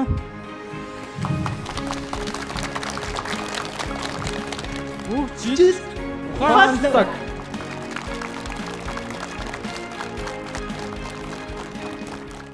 танилцуулж байгаа асуудлууд нь бас нэг талаараа зөв шийдлүүдээс. Гэхдээ яг бас л нэг тийм өнгөцгөн л харцсан байна. Өнгөцгөн бооз? Тий, маш өнгөцгөн харсан байна.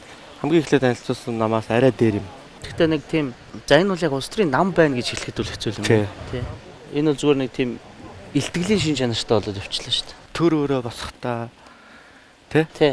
Улс төр гэдэг чинь өөрөө зарчимтай нэг 3 дугаар танилцуулсан бол ямар нэгэн байдлаар энэ улс төрийн босго зарчимд орцсонгүй шүү дээ яг энэ намын техник шинжтэй асуудлууд дээр 3 хүн ярьж байна те. Бусд нь илэрх өөрсдөө илэрхийлэхгүй байна. Танилцуулсан ч гоо те. Тэгээ ярьж байгаа юм нь их уйтгартай байна те. Нөгөө тэр ярьж байгаа юмаа их товч тодорхой хэлэхгүй байна. Улс төрийн үзэл баримтлалыг танилцуулахаасаа илүүтэй уянгийн халилтай нэг тийм техник жүжигчсэн тоглолч гэл байвч та. Одоо тэгээ нөгөө сонгогчд маань яаж сонгохыг сайн мэдэхгүй байна л да.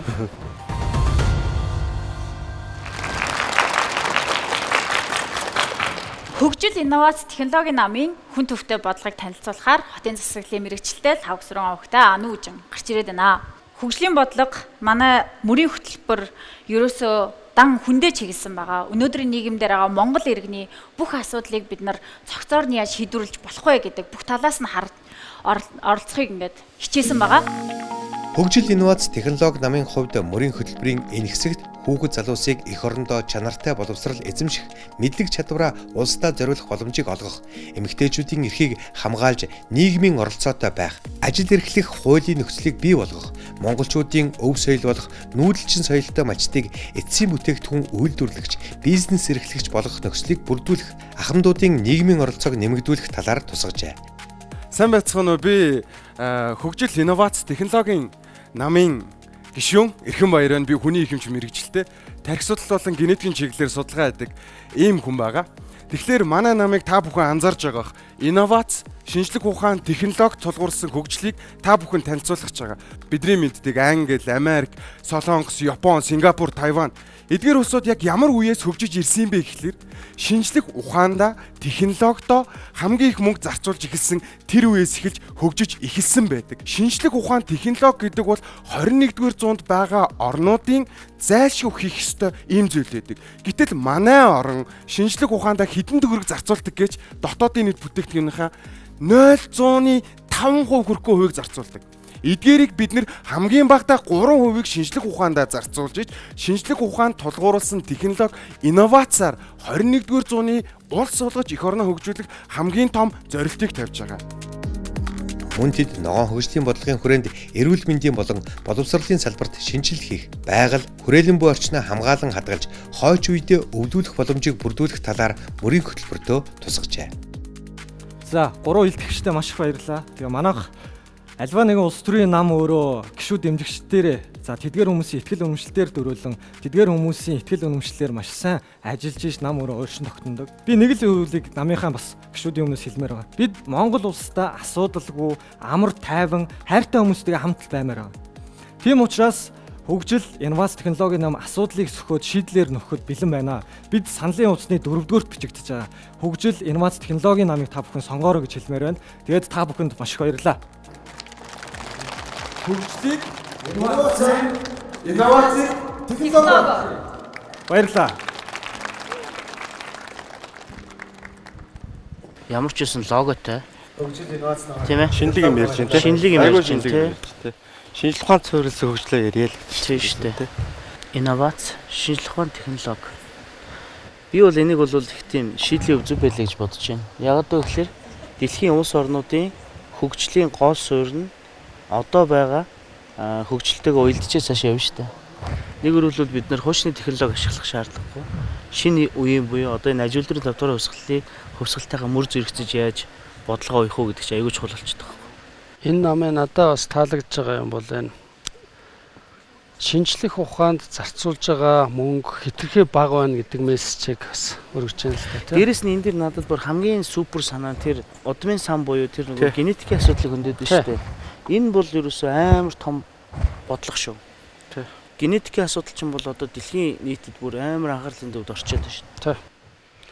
Тэрүүгээрээ ялгарч байна энэ ном. А товчлол нь бас хит ном гэдэг их гоё сонсогч тий хит ном гэдэг. Тий. Үзэн суртлын хувьд бол бас гоё л бууж байна. Ногоо хөгжлийн концепцэн ч гэсэн их гоё байлаа. Технологи инновац руу одоо гол бодлогоо чиглүүлээ гэдэг чинь хүний хөгжил рүү чиглүүлээ л гэсэн үг байна. Тэгээ цаанаа бол бас уялдаж байна.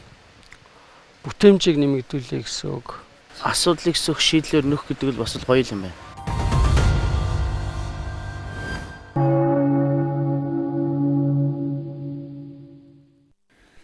За сайн байцгаана уу? Би Ирхва хөгжил намын дарга анх хоёр байна.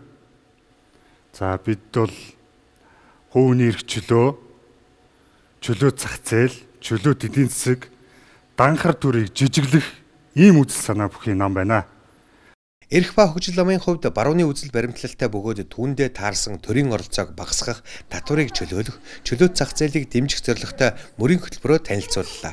Мөн багийн бүх гишүүд илтгэлд оролцож, хүн бүр өөр өөрсдийн сэдвийн хүрээнд боловсруулсан мөрийн хөтөлбөрөөр танилцуулж, зарим үед жүжигчилсэн тоглолтоор өөрсдийн санаагаа илэрхийлж байлаа. Хичээн зүтгэх болно. Та бүхэн биднийг дэмжээрэй. Баярлалаа.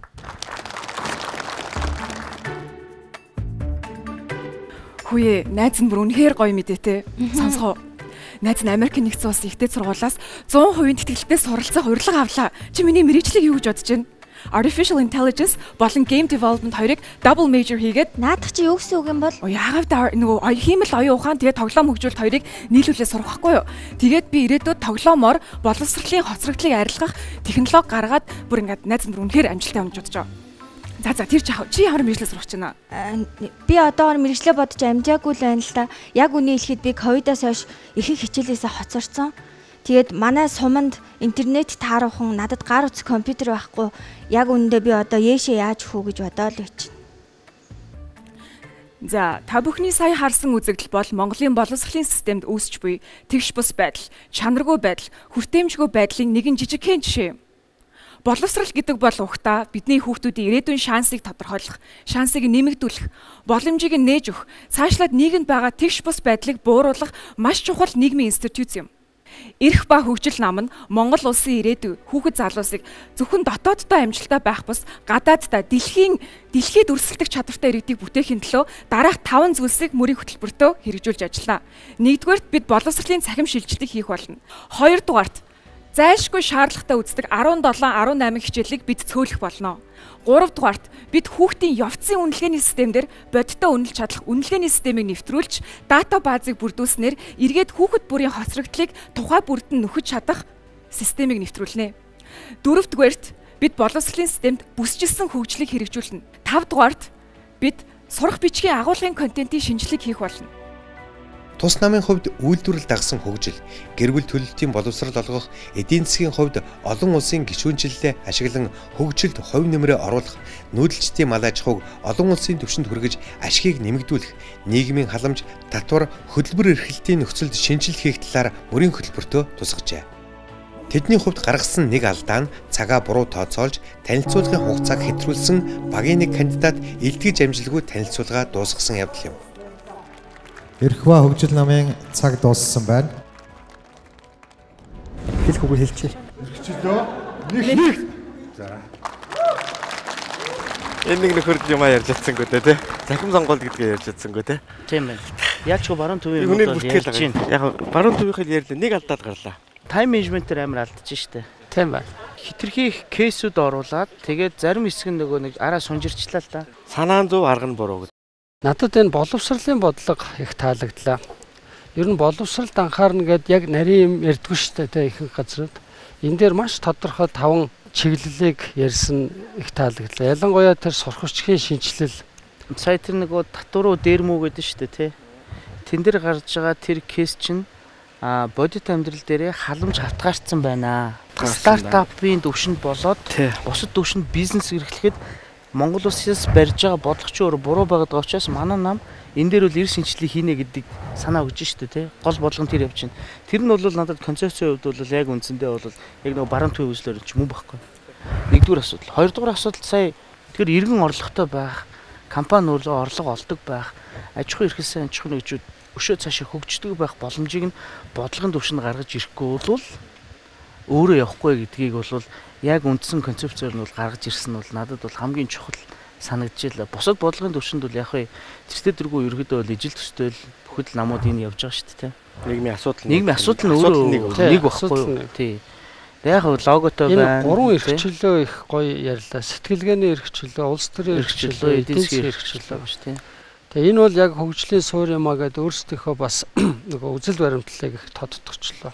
Одоо шинэ эднийх бол яг ингээд үндсэндээ нөгөө хувь хүний эрх чөлөө зах зээлийг эрхэмлэх бөгөөд эдийн засгийн бүхий салбарт төрийн оролцоог эрс багасгаж цомхон бүстэй төрөг бий болгоно гэдэг чинь баруун төв үзлийн хамгийн гол философи онол нь энд явж байгаа байхгүй юу?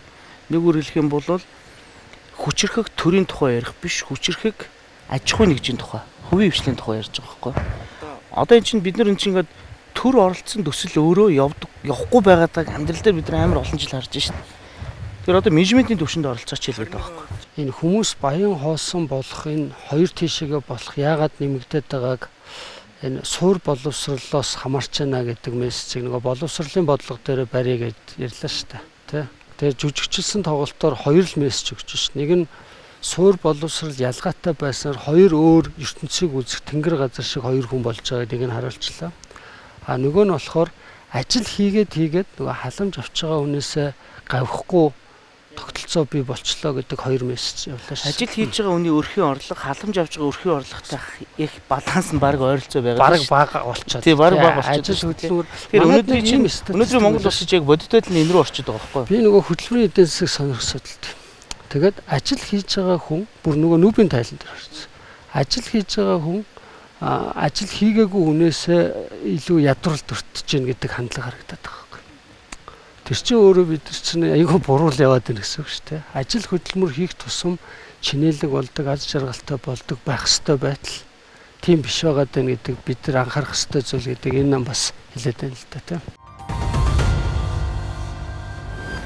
Инхүү баг тус бүр өөрсдийнхөө боловсруулсан товч мөрийн хөтөлбөрөө та бүхэн танилцууллаа. тун удахгүй санал хураалт явагдах болно. Энэ зогсож байгаа 5 багаас ердөө 1 баг ялагч болж хасагдахаас аврагдах бол үлдсэн 4 багаас хинж хасагдаж магадгүй эрсдэлтэй нөхцөл байдалд орно. Ингээд санал хураалтын дүнг зарлая. Манай багийнхан нэлээд өөрсдөндөө ихтэлтэй байсан. Хамгийн бага санал авч хасагдах болсон эхний оролцогч бол хамгийн бага санал авч хасагдах болсон эхний оролцогч бол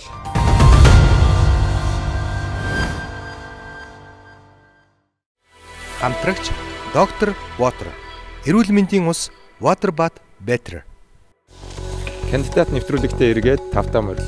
Үзэгчдийн төлөөлөл маань яг одоо саналаа өгөхөд бэлэн болоод байна. Хэрхэн саналаа өгтөл арах процессыг яг одоо тайлбарлаж өгье. Санал өх заавар. Продакшны ажилтнанд нэрээ бүртгүүлээд санал өх хуудсыг авч тусгайлан бэлдсэн ширээн дээр очиж саналын хуудасаа бөглөнө. Саналын хуудсыг бөглөхдөө саналын хуудасны дээд хэсэгт байрлах намын жагсаалт дундаас намын сонгуулийн мөрийн хөтөлбөрт нь үндэслэн цор ганц намыг сонгох боломжтой. Ингэхдээ намын зурган доор байрлах зөөвөн дүрсийг будна. Хоёр болон түүнээс дээш тооны санал будсан тохиолдолд саналын хуудсыг хүчингүйд тооцно. Та оролцогчдод санал өгтөө сонгуулийн хуудасны доод хэсэгт жагссан нийт 50 оролцогчийн зөвхөн 10-ыг нь сонгох боломжтой сонгохдоо зөвхөн ганц намын 10 хүн эсвэл нам тус бүрээс нийт 10 хүн сонгох хэрэгтэй байна. Ингэхдээ мөн адил оролцогчдын зургийн өмнө байрлах зөөвөн дүрсийг будах хэлбэрээр саналаа өгнө. 10-аас олон болон цөөн тооны оролцогчдод саналаа өгсөн тохиолдолд таны саналын хуудас хүчингүйд тооцогдно. Та бөглсөн саналын хуудасаа голоор нь нэг нуглан тайзны голд байрлах саналын шилэн хайрцагт хийснээр таны санал өгөх үйл явц дуусна.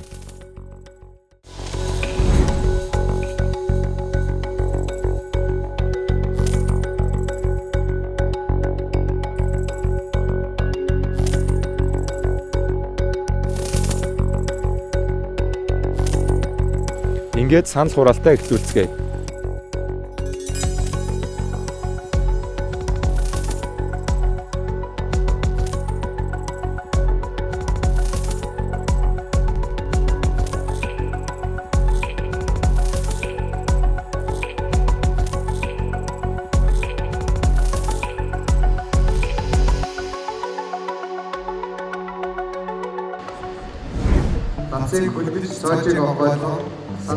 Сандын хуудсуудыг ширээн дээр гаргана.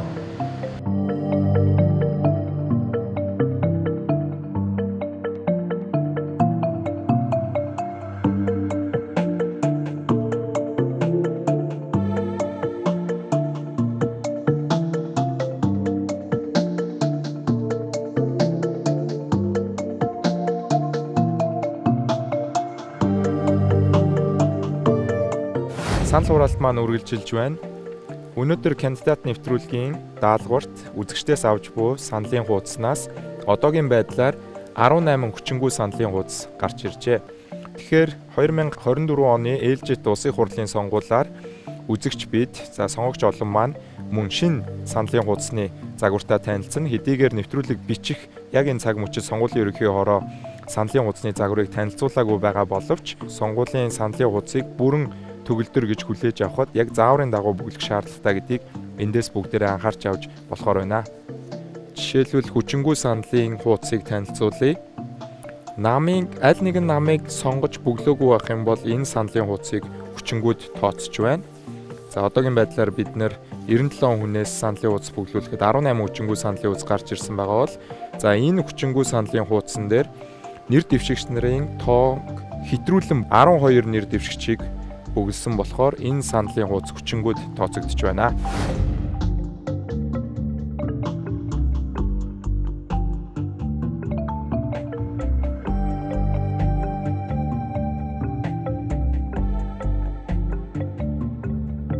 Тун удахгүй санал хураалтын тооллого дуусах гэж байна.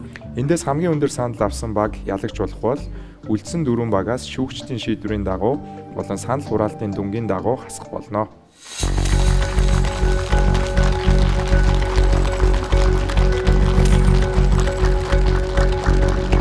Кандидат улс төрийн реалити нэвтрүүлэг маань үргэлжилж байна. Миний гарт яг одоо 2 дугаар даалгаврын санал хураалтын дүн нэгтгэдэж ирээд байна. Энэ зогсож байгаа 5 багаас ердөө 1 баг ялагч болж хасагдахаас аврагдах бол үлдсэн 4 багаас хинж хасагдаж магадгүй эрсдэлтэй нөхцөл байдалд орно. Ингээд санал хураалтын дүнг зарлая.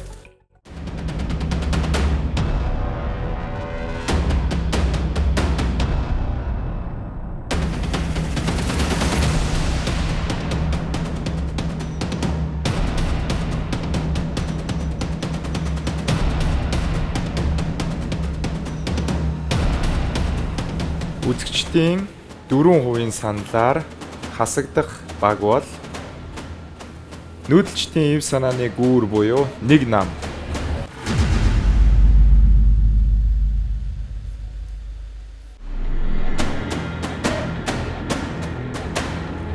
Хун нам.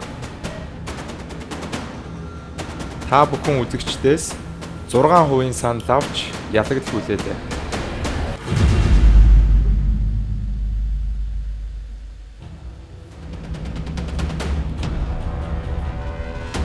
Тэгш боломж нам. Та бүхэн сонгогчдоос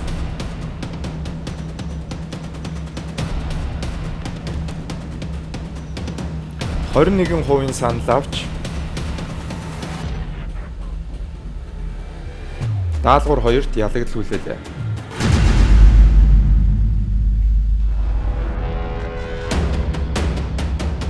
Бидний өмнө хөгжил инновац технологи нам буюу хийтэн нам, эрх ба хөгжил нам 2 20 дугаар даалгаврын дүнгээ сонсоогүй хүлээж байна. 20 дугаар даалгаварт ялсан намыг зарлая. Сонгогчдын 44% саналаар ялсан нам бол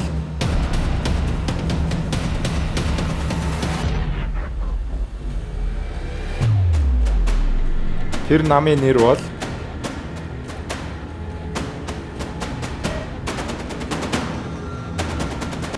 Хит нам ялсан байна.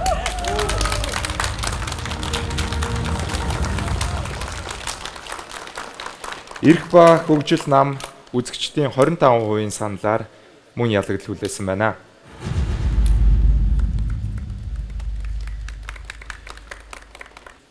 Хит намынханда 2 дугаар даалгаварт ясанд баяр хүргэе. Та бүхэн дараагийн даалгавар хүртэл амарч болно.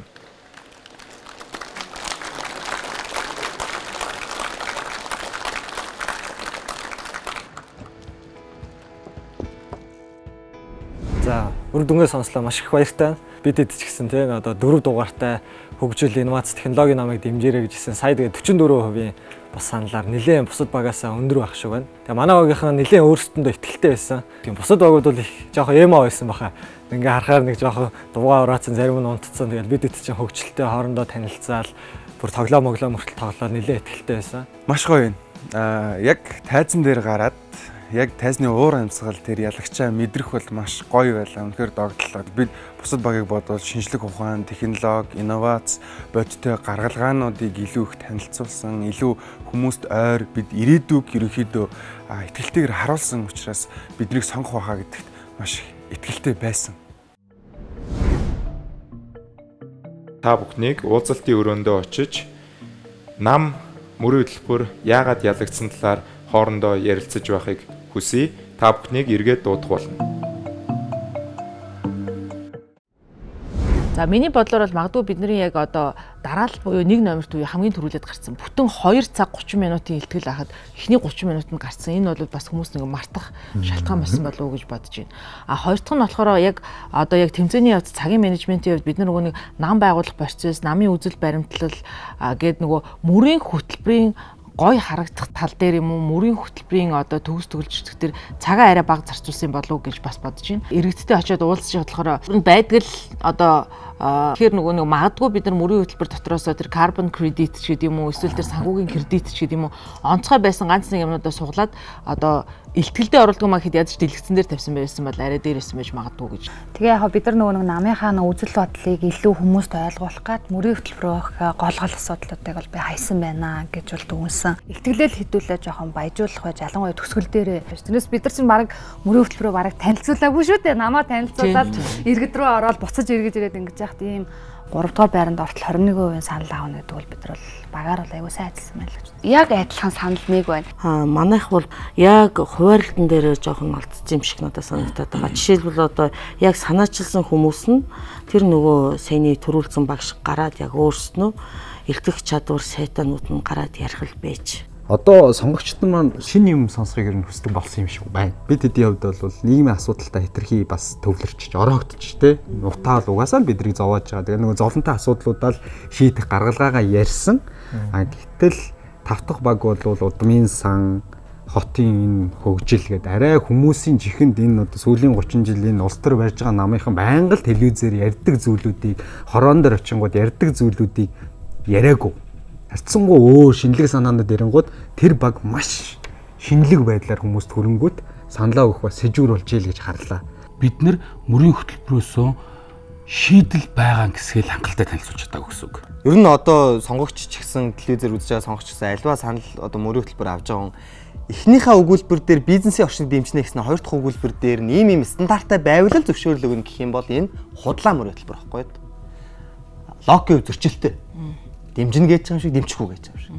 Тэрнтэй адилхан бидний мөрийн хөтөлбөрүүд маань 13 13 өөр өөр үзэл санаатай хүмүүсийн өөр өөр өгүүлбэрүүд шууд бас.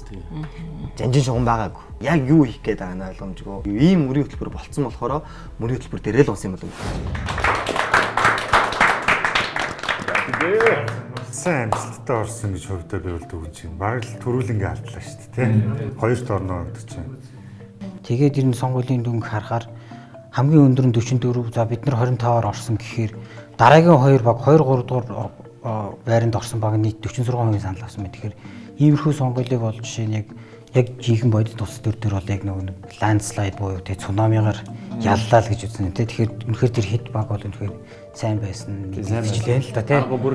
Хүчээр ялсан биш. Бараг 50% саналыг авсан биш тийм. Тэгэхээр тэгэхээр энэ арай нөгөө шинэлэг үзэл баримтлал шинэ бодлого төвшүүлж байгаа намыг бол илүү бидний үеийнх юм уу залуучууд маань нэлээд сайн сонгосон болов. Бусад багууд маань цагаа барьсан баха. Манай бас нэг алдаан цагаа барьж чадаагүйгээс бас болсон. Сонгогч чинь өөртөө угаасаа одоо энэ боловсролтой ирсүү байгаа ч ялангуяа энэ сууж байгаа хүмүүс бол тэгэхээр мэдээж бас бидний яриа одоо ихтгэлээс гадна бас мөрөд хөтөлбөрөөс гадна бас яг хэр одоо зохион байгуулалттай вэ гэдгийг мань харсан байх л гэж. Миний бол гол ялагдлын ч гэдэг юм шалтгаан бол бид эрийг л хараад байгаа. Жохон зохион байгуулалт хүч юм шиг те. Тэгэхээр нөгөө өчргөө цагтаа багтаагүй гэхээс илүү цагтаагүй багтаагүй учраас бид нэр мессежээ төгсгөлөө айгүй сайн хийж чадаагүй. Тэр нь шалтгаан гэж үзэж байна те. Багийн зохион байгуулалт тал дээр бас жоохон сул байсан юм уу гэж бол харж дүгнэж байна. Яагаад гэвэл хэдүүлээ одоо баг 4 5 хүртэл те мөрийн хөтөлбөрөөр ярьсан яг бичих процесс руу маш хойно орсон. А тэгээ сүүл презентацийг бол 30 минутанд бүр өстой шахаад хийгээд гаргасан тий. Логон дээр удаан ажиллаж чадаагүй. Тэгэхээр анханасаа нөгөө нэг функцээрээ хуваагдъя гэж хэд хэд удаа нэг санал дэвшээд ерөөсөө тэр хэрэгжээгүй шүү дээ тийм ээ. Нарийн ширээ юмудаа оруулах, эргээд нөгөө зөвлөхийн хийсэн зүйлсүүдэд шингээж оруулах ч юм уу. Яг юм нэг юм сүүлийн 10 20% гүйцэтгэлийн чимэглүү зүйлс дээр цаг байхгүй дууссан гэж бол санагдчих. Яг мөрөө миний нөгөө нэг бодол байна зүгээр мөрөө төлбөр дээр бид нар одоо ингээ бүх татварыг устгах гэд те намын дарга өөрөө одоо тэрийг илэрхийлсэн. Тэр нь магадгүй зарим нэг сонгогчдод жоохон поп юм шиг санагдсан байж магадгүй. Ялагдл хүлээсэн дөрвөн багийн кандидатуудыг намын байр эзэлсэн дарааллыг харгалзан хасах юм. Хоёрт орсон багаас хоёр кандидат хасах бол бусад багаас 3 3 кандидат хасагдах болно. Бидний өмнө санал хураалтын дүнгээр 2 болон 3 дугаар байранд орсон эрх баг хөгжил тэгш боломж намууд хүрэлцэн ирсэн байна. Эдгээр оролцогчдоос хамгийн бага санал авсан оролцогчдыг зарлаж харамсалтайгаар нэвтрүүлгээс одоо асуулна. Тэгш боломж намын хамгийн бага оноо авсан оролцогчийг эксперт сансар та хэлж өгнө. Хамгийн бага санал авч хасагдах болсон эхний оролцогч бол ган болдын билгүүн Дараагийн хамгийн бага санал авсан оролцогч бол мөнх хоёрын Бат Чимэг. Гуравт хамгийн бага санал авсан оролцогч бол Наран гэрлийн мөнгөн баг байна.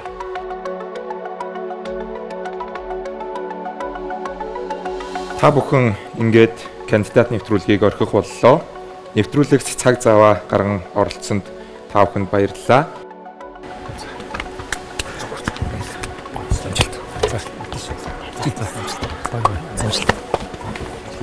Баана.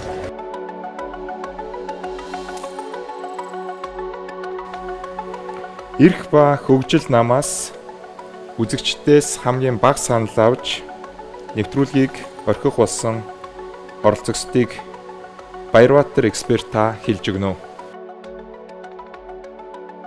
Хамгийн бага санал авч хасагдах болсон эхний оролцогч бол Очир хотын Отхон баяр.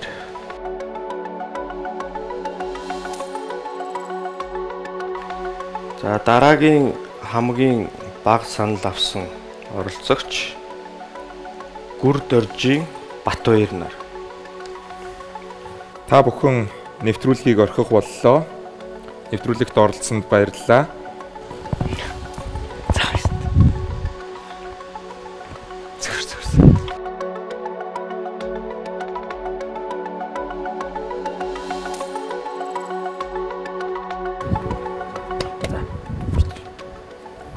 Харин танхимд үлдсэн нэвтрүүлгийн оролцогчд маань дараагийн даалгаварт оролцох боломжтой болсныг дуулгая. Ингээд эксперт Жаданба та энэ хоёр багаас хамгийн өндөр оноо авсан нэг нэг оролцогчдыг нэрлэнэ. Хамгийн өндөр оноо авсан эхний оролцогч тэгш боломж намаас дэлгэр зул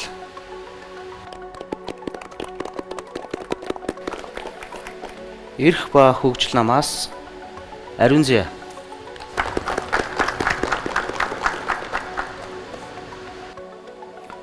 Экспертүүд та бүхнээс нэвтрүүлгийн дараагийн даалгаварт өрсөлдөхөөр болсон оролцогчдод дараа дараагийн даалгаварт нь зориулж зөвлөгөө өгөхийг хүсэж байна.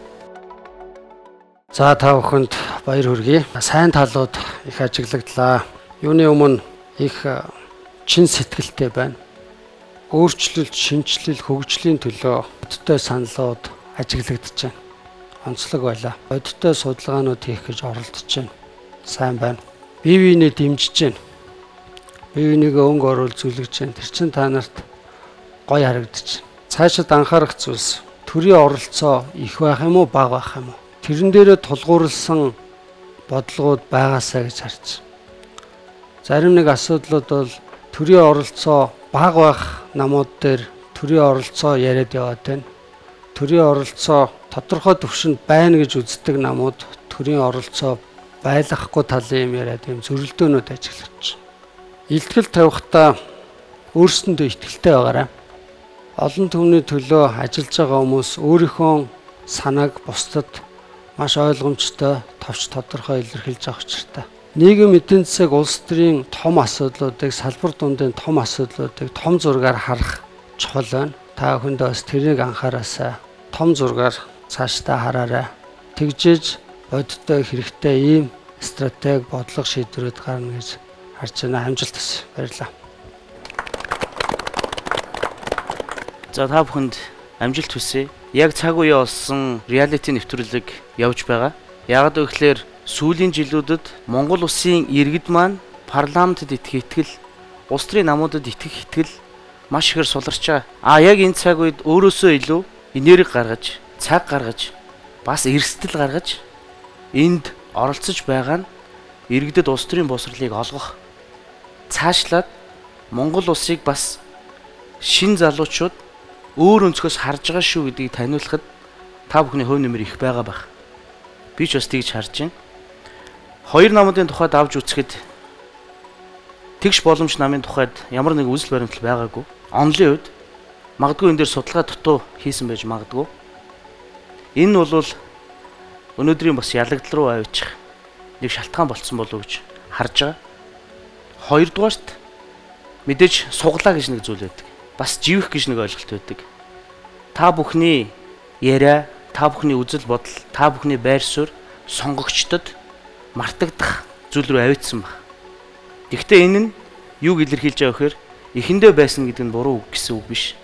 Та бүхнийг сонгох шалтгааныг үлдээж чадаагүй гэсэн үг байхгүй. Тэгэхээр энэ бол цааш цаашийн дараагийн тэмцээн дээр анхаарах хамгийн чухал зүйл. Улс төр өөрөө сэтгэл хураах урлаг ямар нэгэн зүйлээр үлдэх хэрэгтэй байхгүй. Энэ байхгүйсэн намын лидер голлох байр суурийг илэрхийлсэн цагтаа амжаагүй.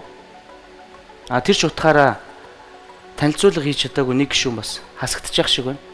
Ягаад гэвэл тэр хүн сонгогчдод өөрийгөө харуулж чадаагүй байхгүй. Тэгэхээр энэ бол багийн тоглолтын алдаа байсан. Багийн ахлагч хоёр удаа гарч ирэх ямар шаардлага байгаагүй. Альва нэг санааг ойлгуулахад давтахаасаа илүү оновчтой байх нь чухал байдаг. Баруун төвийн үзэл гэдэг энэ үзэл баримтал дээр бол байр сууч нь байж чадсан.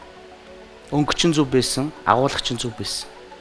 Хитрхи их тийм жүжигчсэн тоглолттой байсан байдал нь өөрөө магадгүй ихтгэл үнэмшил төрүүлээг баг. Тэгээ цааш цаашдын тэмцээнүүд дээр энэ болгоныг анхаарна.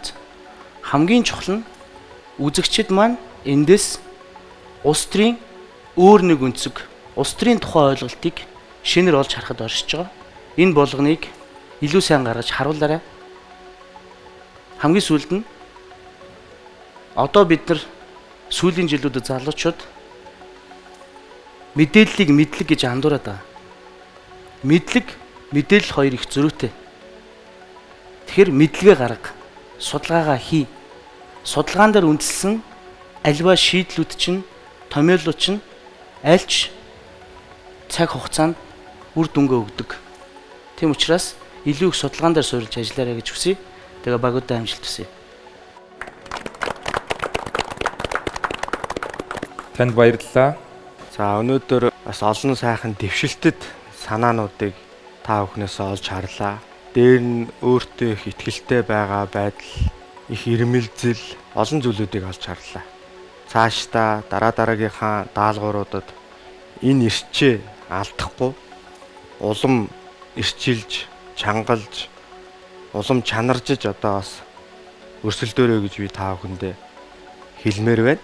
Тэгээ альва зүйл чи онолтой. Өнөөдөр бол улс төрийн нам өөрөө нийгэмд ямар байр суурь эзэлдэг юм. Өнөөдөр яг ямар байр төвшөнд явж байгаа юм. Бид нар энэ улс төрийн намтай намгүй цаашаага энэ засаглалын эрх мэдлийг хэрэгжүүлэх боломж байгаа мó?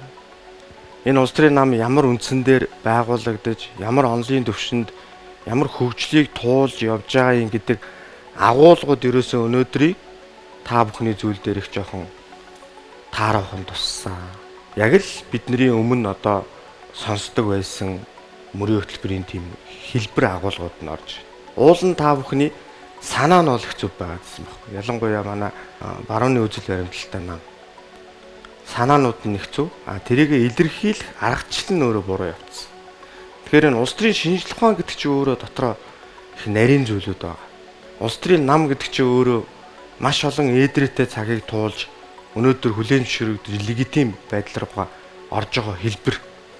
Тэгээ хамгийн гол агуулга нь улс төрийн нам бол иргэн иргэний нийгмийн байгууллагыг төртөө холбогч гүүр үйдэг.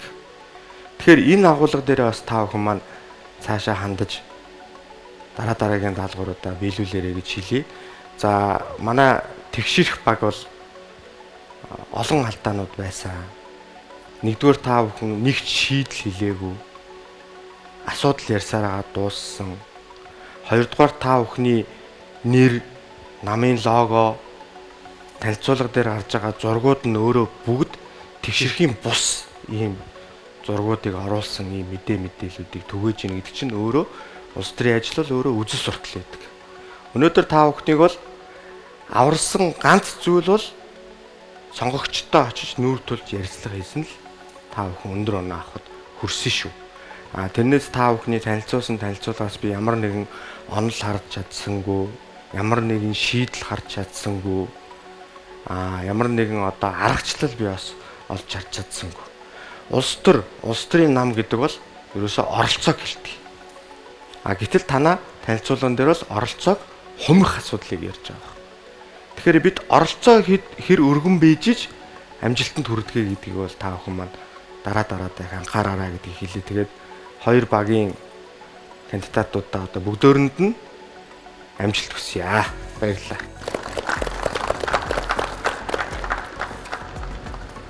Нэвтрүүлгийн дараагийн шатанд өрсөлдөх болсон кандидатуудаа баяр хүргэе. Мөн цаг зав гарган ирж нэвтрүүлэгт үнтэй зөвлөгөөгөө өгсөн экспертүүдтэй бас баярлалаа. Кандидат нэвтрүүлэг үргэлжилж байна.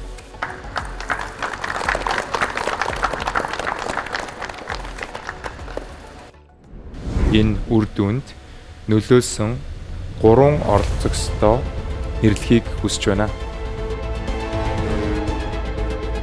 гурван хүнийг заавал хэлэх ёстой учраас асуулт учраас хариулъя. За мөн а гурав дахь хүний нэрийг хэлэхэд бол туйлын бэрх байна.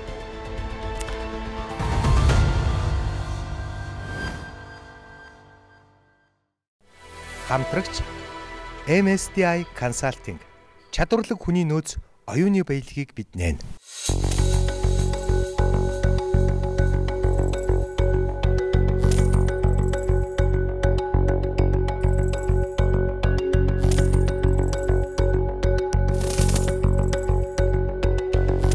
За ингээд экспертүүдийн өмнө сонгогчдоос санал авсан дүнгээрээ дөрөвдүгээр байранд орсон хөгжил тухайлаг намын кандидатууд орж ирсэн байна. Экспертүүдийг тухайн намын оролцогчдоос асуулт суух боломж олгоё. Эксперт Чаданба та бүхэнд орой мэнд хүргэе. Нэг асуулт байна. Хон намын дараагаас асууя гэж бодож байна. Гишүүдийнхаа тэгш оролцоог хангаж чадаагүйсэн. Яагаад 3 хүнээр ихтгэл тавиулж бусад нэр дэвшигчтэй боломж олгосонгүй вэ? Энэ удаагийн даалгаврыг бол багийн даалгавар гэж бол ойлгосон. Өөрөөр хэлбэл багийн сонгогдсон 3 ихтгэгчийг багаараа сонгож эдгээр 3 итгэгчдэд итгэл үзүүлэх зарчмаар бол явсан. Өөрөөр хэлэх юм бол олон гişүүд маань нэгэн зэрэг тавьснараа хүмүүсийн анхаарлыг сарниулах байх гэдгээс бол болгоомжилсон шийдэл бодлого боловсруулалт намын хөтөлбөр дээр бол бүгд ижил тэгш оролцоотой байсан оролцоог бол тэгш хангаж ажилласан. Баярбаатар эксперт.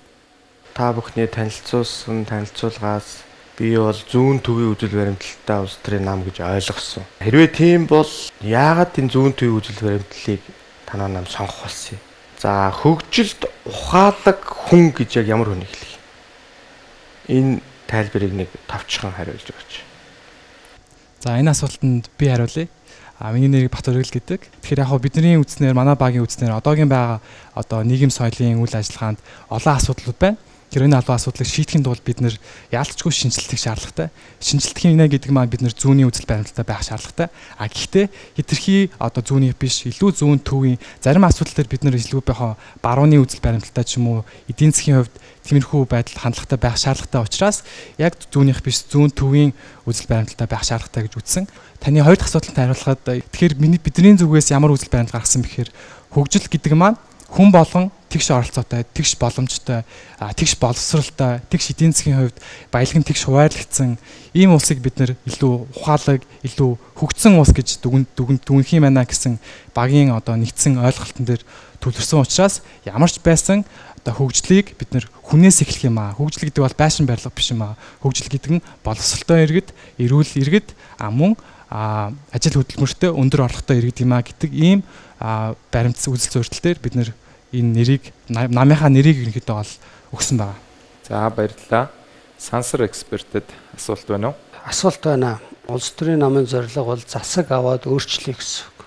Тухайн улс орныг хөгжүүлэх цогц ижбүрэн одоо хөтөлбөр байх учиртай. Яагаад энэ гурван хүний ярьсан агуулга нэг цэцэрлэгийн өмнөх боловсрал яриад нэг зүрх сэтгэлийн боловсрал тэгээд хүрээлэн буй орчин нийгэм эдийн засаг руу төвлөрнө гэж ойлгосон чинь ерөөсөө эдийн засгийн асуудал баг яригдахгүй хүрээлэн буй орчны асуудал яригдахгүй ингээд холилдоод явсан л та. Та бүхэн яаж мөрийн хөтөлбөрөөр боловсруулсан бэ? За энэ асуултанд би хариулъя. За манай бог бол доктортой хөгжлийн үзэл баримтлал тууштай гэж байгаа. Өөрөөр хэлэх юм бол доктортой хөгжил маань нийгэм эдийн засаг хүрээлэн буй орчныг харилцан шүтэлцээтэй жигд хөгжүүлэх асуудлыг бол авч үзэж байгаа. За үүний хүрээнд бол нийгэм эдийн засгийн чиг үүрэг бол харьцангуй удаан хугацааны туршид уламжлалтай ирсэн бол хүрээлэн буй орчны үүрэг маань бүрэн хэрэгжээгүй ийм асуудал бол Монгол улсад төдийгүй дэлхийн нийтэд бол тулгамддаг. За би өөрөө яг энэ чиглэлээр докторийн судалгааны ажил хийдэг хүний хувьд бол яагаад Монгол улсад энэ асуудлыг хүндэх ёстой юм бэ гэдгийг бол судалгаагаар бол гаргаж ирсэн байдаг. За мөрийн хөтөлбөр дээрээ бол яг хав дутуу тайлбарлаж орхигдуулсан асуудал бол гарсан байгаа. А нийгэм, эдийн засаг, хүрээлэн буй орчин гэсэн энэхүү гурван чиг үүрэг буюу доктортой хөгжил гэсэн малгайнд орох энэ гурван чиг үүргээр системчилж бол намын хөтөлбөр бол боловсруулсан. Тэгээ та бүхэнд энэ талаар танилцуулахдаа жоох орхитуулсан байж магадгүй маа. За баярлалаа. Оролцогч Бямби Эрдэнэ бас намынхаа танилцуулган дээр оролцох боломж олдоогүй. Тэгэхээр та нэмж дэлгэрүүлж намын дараагийнхаа хийсэн дээр нэмж дэлгэрүүлэх санал байна уу? Ромын. За манай намын танилцуулга дээр бид нар бол боловсролын хүртээмжтэй байдлын талаар за тэгээ мөн сургуулийн өмнөх боловсрол а тэр дундаа цэцэрлэгийн өмнөх боловсрол буюу тэгээс 2 настай хүүхдийн а ясл ясл а тэгээ энийг цэцэрлэгийн ангид нэмэгдүүлэхийн талаар бол бид нар ярилцсан байгаа. Энэ маань бас танилцуулга дээр тодорхой хэмжээгээр яригдсан байгаа. За намын бусад гишүүдийн хувьд саналтай хүн байна уу? За хөгжил гэдэг бол сонгох эрх чөлөө юм а гэд Пакистаны эрдэмтэн Амаржа Сен гэдэг хүн тодорхойлсон байдаг. А хүний хөгжлийг өнөөдөр дэлхийн нийтэд улс орон хөгжиж гин үгүй юу гэдгийг индексээр тодорхойлж гаргаж ирдэг. Энэ дээр боловсролын индекс хүний дундаж насталд орлогын түвшин хамаардаг. Тэгэхээр хүнээ хөгжүүлэхийн тулд бид нэр эдгээр зүйлүүдэд анхаарал хандуулах шаардлагатай юм а гэдэг манай намын цөм бодлого бол боловсруулагдсан. Бид нэр химжиж чадвал удирдах чадна гэж үг байдаг. Тэрэн шиг шалгуур үзүүлэлт, хүрэх төвшин, суур төвшин бид бүхэн тэр бүхнийг нарийн тооцоолж гаргаж ирсний үндсэн дээр мөрийн хөтөлбөрөөр боловсруулсан байгаа. Тэгээ статистик мэдээ стандарт хэмжээ гэдэг үзэл баримтлалыг бол одоо мөрийн хөтөлбөрийнхаа гол одоо зарчим болгож бас ажилласан давуу талтай. За би кандидат нэвтрүүлэгт 0-оос 2 настай ээжүүдийн төлөөлөл болж орж ирсэн гэж өөрийгөө бодож байгаа. Сургууль цэцэрлэгийн өмнөх боловсрал гэдэг энэ найслыгаа би бол мөрийн хөтөлбөртөө оруулж чадсан. Энэ санаа маань тийм ээ энэ хүсэл маань ингээд бас Монгол улсын ард иргэдэд бас дуу хоолой болон очисон байгаа байх гэж би их найдаж байгаа. Аа энэ тал дээр бол айгүй сэтгэл хангалуун байгаа. За баярлалаа. Экспертүүдэд маань нэмж асуух асуулт байгаа юу? Нэг санал байна намын гişүүдэд чинь ингээд асуудлыг сонсоход бүх хүмүүст ярих зүйл байсан байна. Сонгогчд санал өгсөн байна. А тэр саналыг авах боломжийг нь хангаж өгч чадаагүй нь багийн ахлагчийн хувьд, намын даргын хувьд маш том алдаа болсон болов. Тийм учраас танай намын үзэл баримтлал, танай намын гол асуудал чинь сонгогчдод орсонгүй. А тэрнээс болоод танах энэ үнэлгээг авсан. Тэр цааш цаашдын тэмцээнүүд дээрээ бүх хүний оролцоог тэр боломжуудыг нь гүйцэцэн гаргаж өгөөрэй Ойлголоо баярлалаа. Танаа багаас нэг онцгой одоо анзаарэгдсэн зүйл бол саяны энэ ёс зүй, хүн чанар, хүмүүжлийн асуудлыг онцгой бусад багуудаас ялгаатай гаргаж тавьж байгаа нь онцлог байсан. Зүгээр та бүхний энэ сэдв маань өөрөө манай Монгол улсад бол хамгийн чухал сэдвүүдийн нэг яах аргагүй юм уу?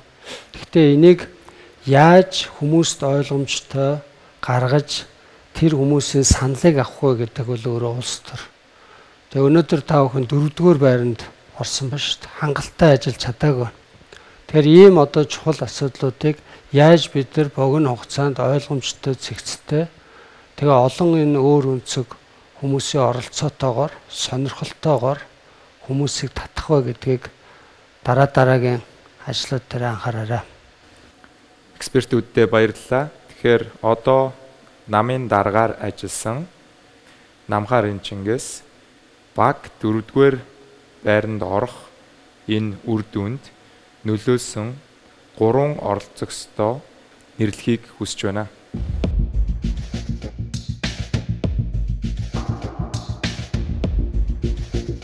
Хүдэр чулуун. Оролцогч хүдэр чулуун. Та хоёр дахь оролцогчийг нэрлэнэ үү? Бат очор. Бат хөргөл. За дараагийн өмнө нэрлэхийг хүсье. Мөнх эрдэнэ.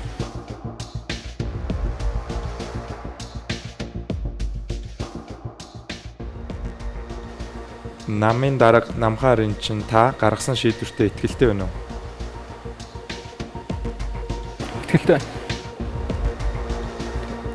За, одоо би та бүхэнд үзэгч сонгогчдын хун намаас оролцсон кандидатуудад хамгийн бага санал өгсөн 3 оролцогчдын нэрийг сонирдуулъя. Мегмар Дорж Болд Эрдэнэ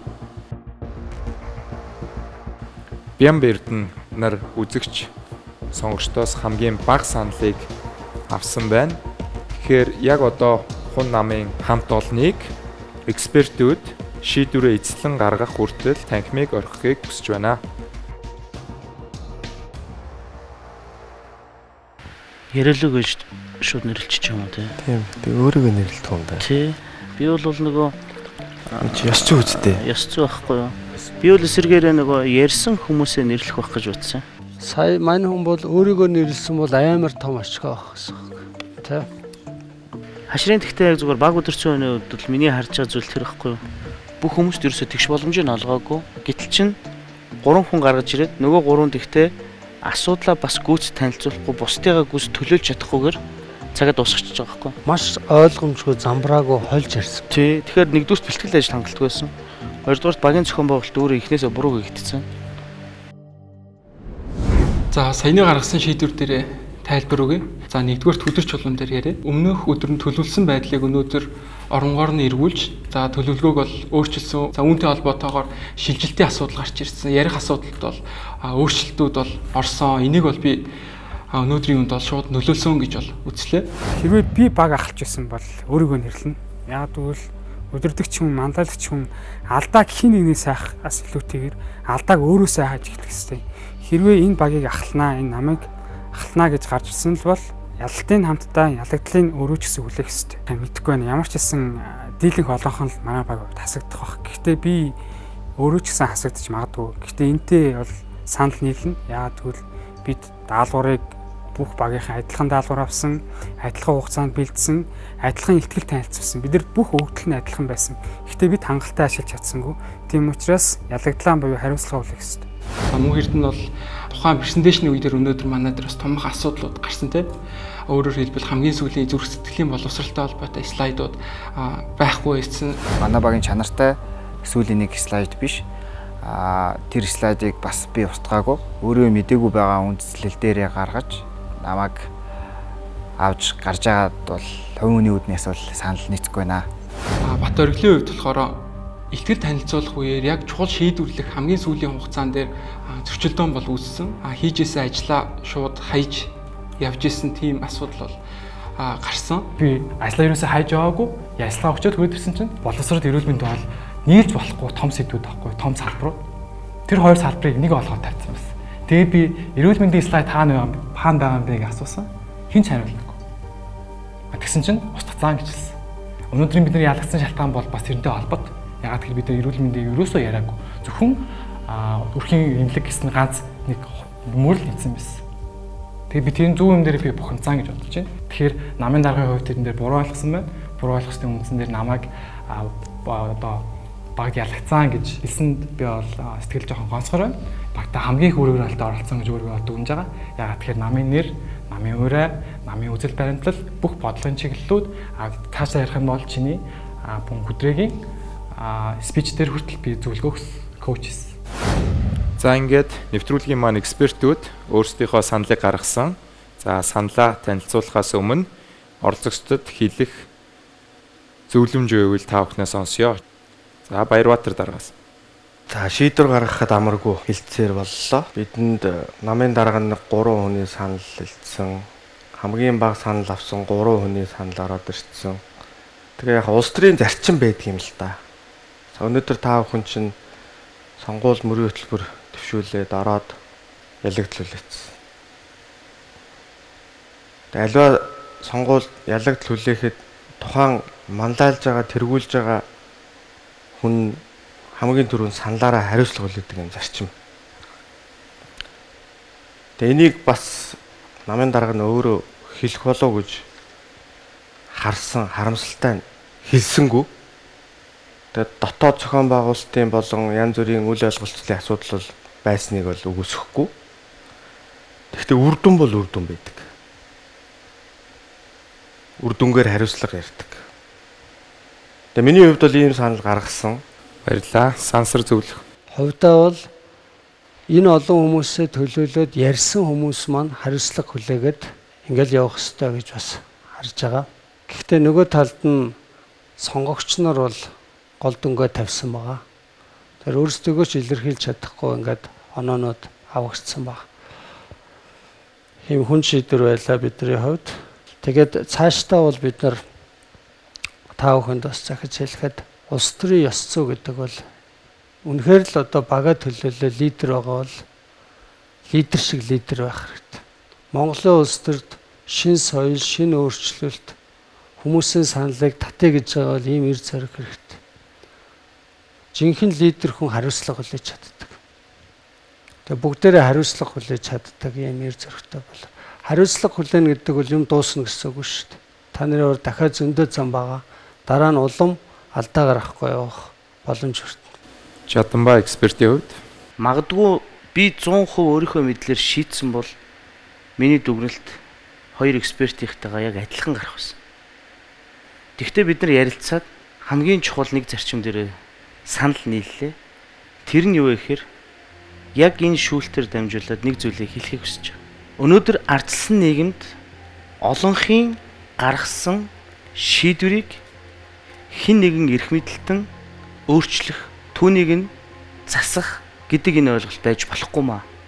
Яг энэ агуулгаараа та бүхнийг илтгэлийг та бүхний үзэл баримтлалыг сонсоод та нарт саналаа өгсөн 100 иргэнийхаа олонхын саналыг хүндэлж тэр шийдвэрийг дагая гэж бодож байна. Экспертүүддээ баярлалаа. Энэхүү шийдвэрийг гаргахад экспертүүд маань ямар зарчмуудыг баримтлсныг та бүхэн сая сонслоо. За ингээд хасагдах болсон оролцогч бол оролцогч Мегмар Дорж кандидат нэвтрүүлгийг энд хүрээд өндөрлөх болж байна. Дараагийн оролцогч Болд Эрдэнэ кандидат нэвтрүүлгийг энд хүрээд өндөрлөх боллоо. 3 дугаар хасагдах оролцогч маань Бямбердэн үзэгч сонгогчдын өгсөн саналыг экспертүүд маань хүндлэхээр шийдсэн тул кандидат нэвтрүүлэгт цаг зав гарган оролцсон та бүхэнд баярлалаа. Та бүхэн залыг орхижуулноо баярлалаа. Үлдсэн хун намын кандидатууд маань нэвтрүүлгийг цаашид үргэлжлүүлэх боломжтой боллоо. Та бүхэнд баяр хүргэе. Бидний өмнө нүүдэлчдийн эв санааны гүүр нам буюу нэг намын хамт олон хүрэлцэн ирсэн байна. Экспертүүд маань тухайн намын кандидатуудаас асуух асуултын үйлчлэлүүдэд ярилцж болно. Чаданба зөвлөхөөс эхлэе. Би яг үндэ бол нэг намыг 6% аавна гэж юусоо тооцоогүй. Тэгээ сонгогчдын санал өөрөө их сонирн байдаг а гэдэг нь бас эндээс харагдаж байгаа. Магадгүй та нар өөрсөндөө энэ дээр янз бүрийн дүгнэлтүүд хийж байгаа. Миний харснаар бол та нар сайхан ярьсан, нэр чин гоё байсан, үзэл сурталын хувьд гоё байсан. Магадгүй сонгогчдод үлдэх мессеж PPT хэлбэрээр сайн харуулж чадаагүй нэг асуудал гарч юу гэж хувьдаа харж байна. Би оролцогч ганц зэргийн мантахаас асуу гэж бодож байна танаа намыг ялагдуулахад хүргэсэн гурван хүнийг нэрлээч. Тэгээ тэр гуравч нь яагаад гэдгийг товчхон хариулж өгч. За юуны өмнө бид хамт олонны шийдвэрийг үргэлж хүндэлж арчлалын зарчмаар шийдвэр гаргаж цөөнхөн хүндэлж шийдвэр гаргаж явсан. А мэдээж а одоо яалж ялагддаг тоглоом а тэгээ мөн миний хувьд юм бол маш их өндөр хүлээлттэй өөрийнхөө харуулах гэсэн олон үзхийг харуулахыг хүссэн. Тэгээ нэг хин нэгнийг хасах тухай бол бас яг шууд бодоогүй. Гэхдээ гурван хүнийг заавал хэлэх ёстой учраас асуулт учраас хариулъя. хамгийн түрүүнд оролцоог бид нар чухалчилсан. Тэгэхээр тэрэн дээр хамгийн бага оролцсон одоо тэгш жаргал одоо хүнийг арай оролцоогоо дутуу байсан болов уу гэж бас бодож байна. За хоёрдугаарт энэ улс төрийн шоу улс төрийн намын дарга намын ялагдлаа хүлээнэ гэж өөрийн биеэр намын даргаар сонгосныхаа дараа хэлсэн. Тэгэхээр тэр утгаараа одоо намын дарга ч гэсэн өөрөө энэ дээрээ бас ялагдлын дараах сэтгэлээр хэлсэн учраас намын даргаагаа одоо бүхэл намын дүрмд байдаг одоо хариуцлага хүлээх бах гэж бодож байна. За мөн бас одоо яг шууд ингээд одоо бас яг энэ талаар бодоагүй. Гэхдээ за 3 дахь одоо оролцогчоор бол аа за 3 дахь оролцогчоор бол би за яг арай бас ойлголт илтгэл нь жоохон жоохон өөрчлөгдөөд одоо байсан учраас одоо Батчимэг оролцогчийг сонгож байна. Баярлалаа. Сансар эксперт асуулт байна уу? Та бүхэнд бас баяр хүргэе. Ямар ч байсан миний хувьд бол бас их дээгүр хүлээлттэй байсан. Бас оноо сонгогчноос баг авсан нь бол та бүхэн дор хүрнэ дүгнээс их олон учир шалтгаан байгаа. За би тэгээ шууд асууя. Мөнгөн жигүүрээс бас саяны асуултыг асууя. Ялагдалт ер нь хэн нөлөөлсөн бэ?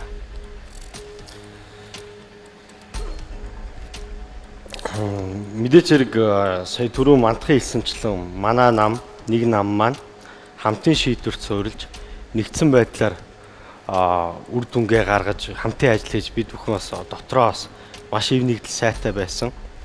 Одоо ч гэсэн сайтай байгаа.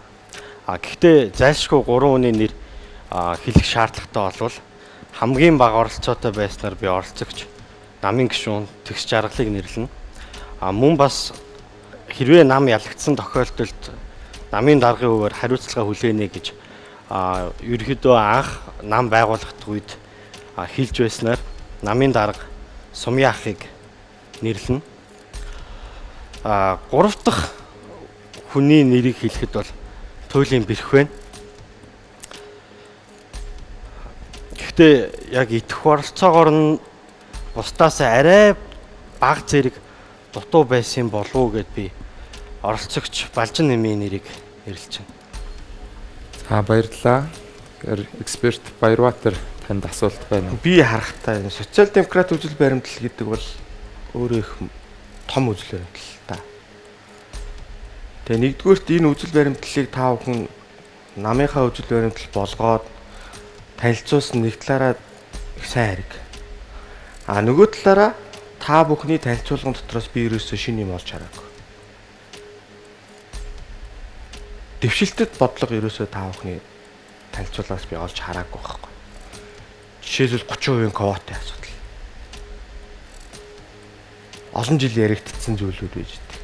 Зөвхөн энүүхэн зүйлээр дуусчдаг тийм үжил баримтлал биш байхгүй. Тэгэхээр энийгээ цааш нөгшөө дэвшилтэд бодлогоор илүү ярих болов уу гэж би хүлээлт бол байсан. Аа зүгээр та бүхэн яг өнөөдрийн танилцуулсан концепцийнхаа төвшөнд бол одоо хангалттай төвшөнд бол танилцуулж бол чадсан. Аа тэгтээ иргэдэд бол хүрээгүй. Шин байж чадсангүй гэдгийг бол ойлгоорой. За би Батчимгээс асуучих гэж бодож байна.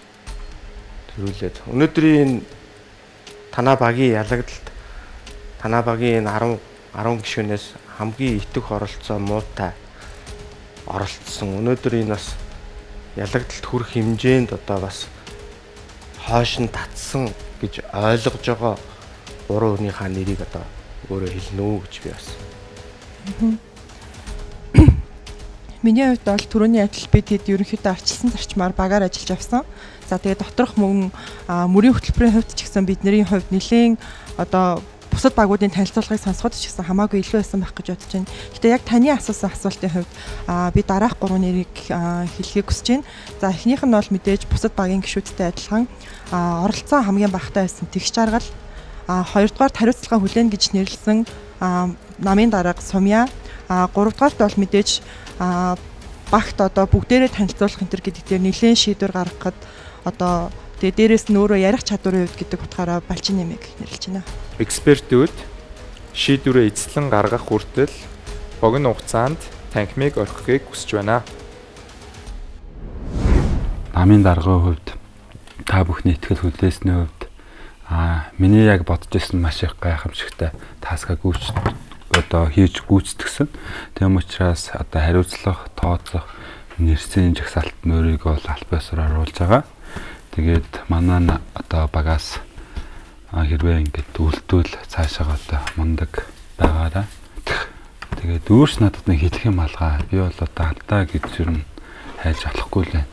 Бид нэр яг үнэндээ а сонгогчд бид нэр одоо попрох байж чадсангүй ухааны юм ярих гэдэг байгаа байхгүй. Ийм биш. Харин бид нэр баг дотроо попорцгооцсон. Өчигдрөөс эхлээ бид нэр тохоо илүү ялнаа гэдэг юм гаргаж ирээд зүгээр л ингээд одоо ив түнжинтэй байхын тулд ч гэдэг юм те зүгээр л бие бинийгээ аргадаал бие бинийгээ гүйцэлүүл ингээл. Тэгэл ерөөсө саналуу 100% тэй гараал те тэгээд яг ингээд өөр гарч ирж байгаа хурц гарч ирж байгаа юмнууд ерөөсө дэмжигдэхгүй. Ингээд өөрсдийгөө хайрцаглаа явцсан байхгүй. Тэгээ манай манай өнөөдрийн хийсэн юм юу байсан гэхээр маш гүлгэр мүлгэр ямар ч онцгой юм байхгүй. Ийм мөрийн хөтөлбөрийг та нар онцгой мөрийн хөтөлбөр гэж байгаа бол уучлаарай. Энэ хаанаас л хаанаас гаргаж ирж байна. Хэдхэн хэдхэн санаа байсан л баг. Гэхдээ энэ мөрийн хөтөлбөрөөр нь адилхан ингээд яг шүүгээд үдсэн ч гэсэн манай мөрийн хөтөлбөр тийм өндөр гарч ирэх албагүй баг. Бид нар зүгээр хитрхи өөрсөндөө итгэсэн. Ямар ч уул үндэсгүйгээр итгэсэн. Тэгээ эцсийн эцэст одоо сонгогчд руу хандаад тэ 100 ирсэн хүмүүс поп юм хэрэгтэй байжээ гэж ингэж дүгнэж гин гэдэг бол аимшигт Өнөөдөр яг бидний энд байж байгаа шиг яг ийм тий ийм багийн популизм тий баг дотроо бие биенийгээ популизм доод бие биендээ сайхан байна болж гин гэж итгүүлээд явдаг юм. Энэ Монголын төр засагт байгаа байхгүй. Энэ Монголын төрийн байгууллагуудад байгаа. Энэ удирдах байгаа бүх төвшний газруудад яг ингэж байгаа байхгүй. Өө бид нар гоё юм хийж гэн чадж гэн алдж гэн биднийг ойлгохгүй байна. Өө тэгэл өөрсдөө алдаануудыг хаацалчдаг. 100 сонгогчтой өдөржин өрнөлөө шүү дээ Тэгээ 100 сонгогч чинь бүгд нууц санал хураалтанд орсон байна. Тэгээ нууц санал хураалтанд орсон дүнгээр энэ багаас хамгийн бага санал авсан 3 нөхөр нөгөө талд байж байгаа. Яг хасах хүний тоо бол 3. Тэгэхээр энэ дээр одоо манайхан ямар саналтай байна те? Яг ямар байдлаар явуул их зөв зүйтэй явах уу гэдэг зарчмын яриадах бол. А Баяротор экспертийн бас нэг саналыг бол айгүй сайн зарчмын үед дэмжиж байна. Тэр нь юу гэхээр сонгогч гэдэг бол хамгийн чухал сонгогчийг нэрийн өмнөөс хин нэгэн эксперт олонхын саналыг үл хүндэтгэн шийдвэр гаргаж болохгүй. Тийм учраас олонхийнхоо саналыг дэмжих нь зөв буюу а бидний ард өдөржин энэ бүх илтгэлийг сонсоод энэ дээрээ дүгнэлт хийгээд саналаа өгсөн иргэдийнхаа саналыг хүндлээд тэр зарчмаа бариад иргэдийнхаа саналаар явъя гэсэн гэдэг асуудлыг дэмжиж байна. Сонгогчдынхаа саналыг л хүндэтгэж үзье экспертүүддээ баярлалаа. Одоо хасагдах болсон 3 кандидатын нэрийг дуулгая. Тэр бол Алжин юм.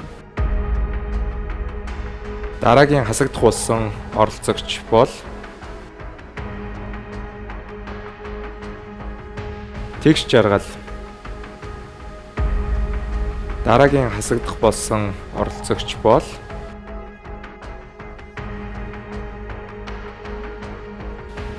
Батчимэг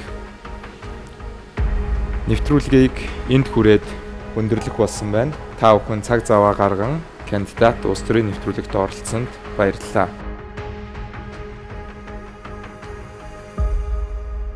А мэдээж хасгсан та жоохон харамсалтай байна. Гэхдээ бол зүгээр миний хувьд бол уг нь бол өндөр зорилготой орж ирсэн. Тэгээд өөрийн нөгөө өөрийгөө илэрхийлэх ярих хур чадвар дээрээ жоох алд тутагталтай учраас тэр барьер дээр алдчихлаа гэж бодож байна. Аа миний хувьд бол яг хөө мэдээж багаараа бид нэр ажилласан. Гэхдээ өөрийнхөө оролцооны хувьд хамгийн багаар оролцсон 3 хүний нэг гэдэгтээ бол ер нь санал нийлэхгүй байна. Манай багийнхаа яг нэлийн найзан дундаа нэлийн одоо би бинийгаа одоо хүлээн зөвшөөрж байгаа тиймэрхүү өнгө аястай явагдсан. Яг тэр дунд нь илүү санаа оноогоо хэлээд эсвэл ингээд нөгөө одоо намын дарагч гэдэг юм уу те нэг багийнхаа гишүүнийг үгүйсгээд нөгөө багийнхаа гишүүнийг илүү яриулаад байгаа дээр санаа оноо хэлсэн учраас яг нэгдүгээр миний харж байгаагаар бол хүчтэй өрсөлдөгч болохоор төрүүлж хассан гэж бодож байна.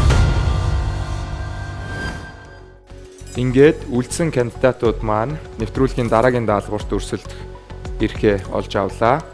Өнөөдрийн кандидат нэвтрүүлэг маань энд хүрээд өндөрлөж байна. Хүрэлцэн ирсэн экспертүүдтэй талархал илэрхийлье.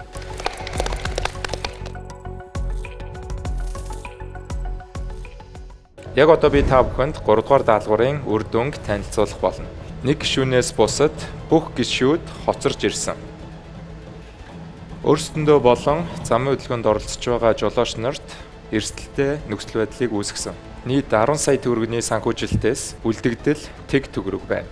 Худалдан авалтын судалгаагаа мөн дутуу боловсруулж зарим багийн гишүүд хоорондоо үл ойлголцол үүссэн байна. Хэрвээ би 10 сая төгрөгөө өгсөн хүн бол айгүй дурамчхан байх байсан тий. Тэгээ та нар өөрсдөө тэр нөхөнхөө ухсан тэгээ юу ингээ хэмнсэн мөнгө авчирч гисэнд нь баярлаа гэх юм. Тэр нөгөө нэг хайрцагнаас гадуур сэтгэх сэтгэлгээл ах л та. Одоо ингээл яг мөнгө өглөө гэж бодоход энийг өөр юм хийх гэхэд эхний ээлжинд хүний бодож байгаа яг багуудын бодож байгаа. Энийг нэг юм хийхэд яаж хүрэх үү гэдэг ч юм уу. Тийм талаас нь л хандаад байна л дээ.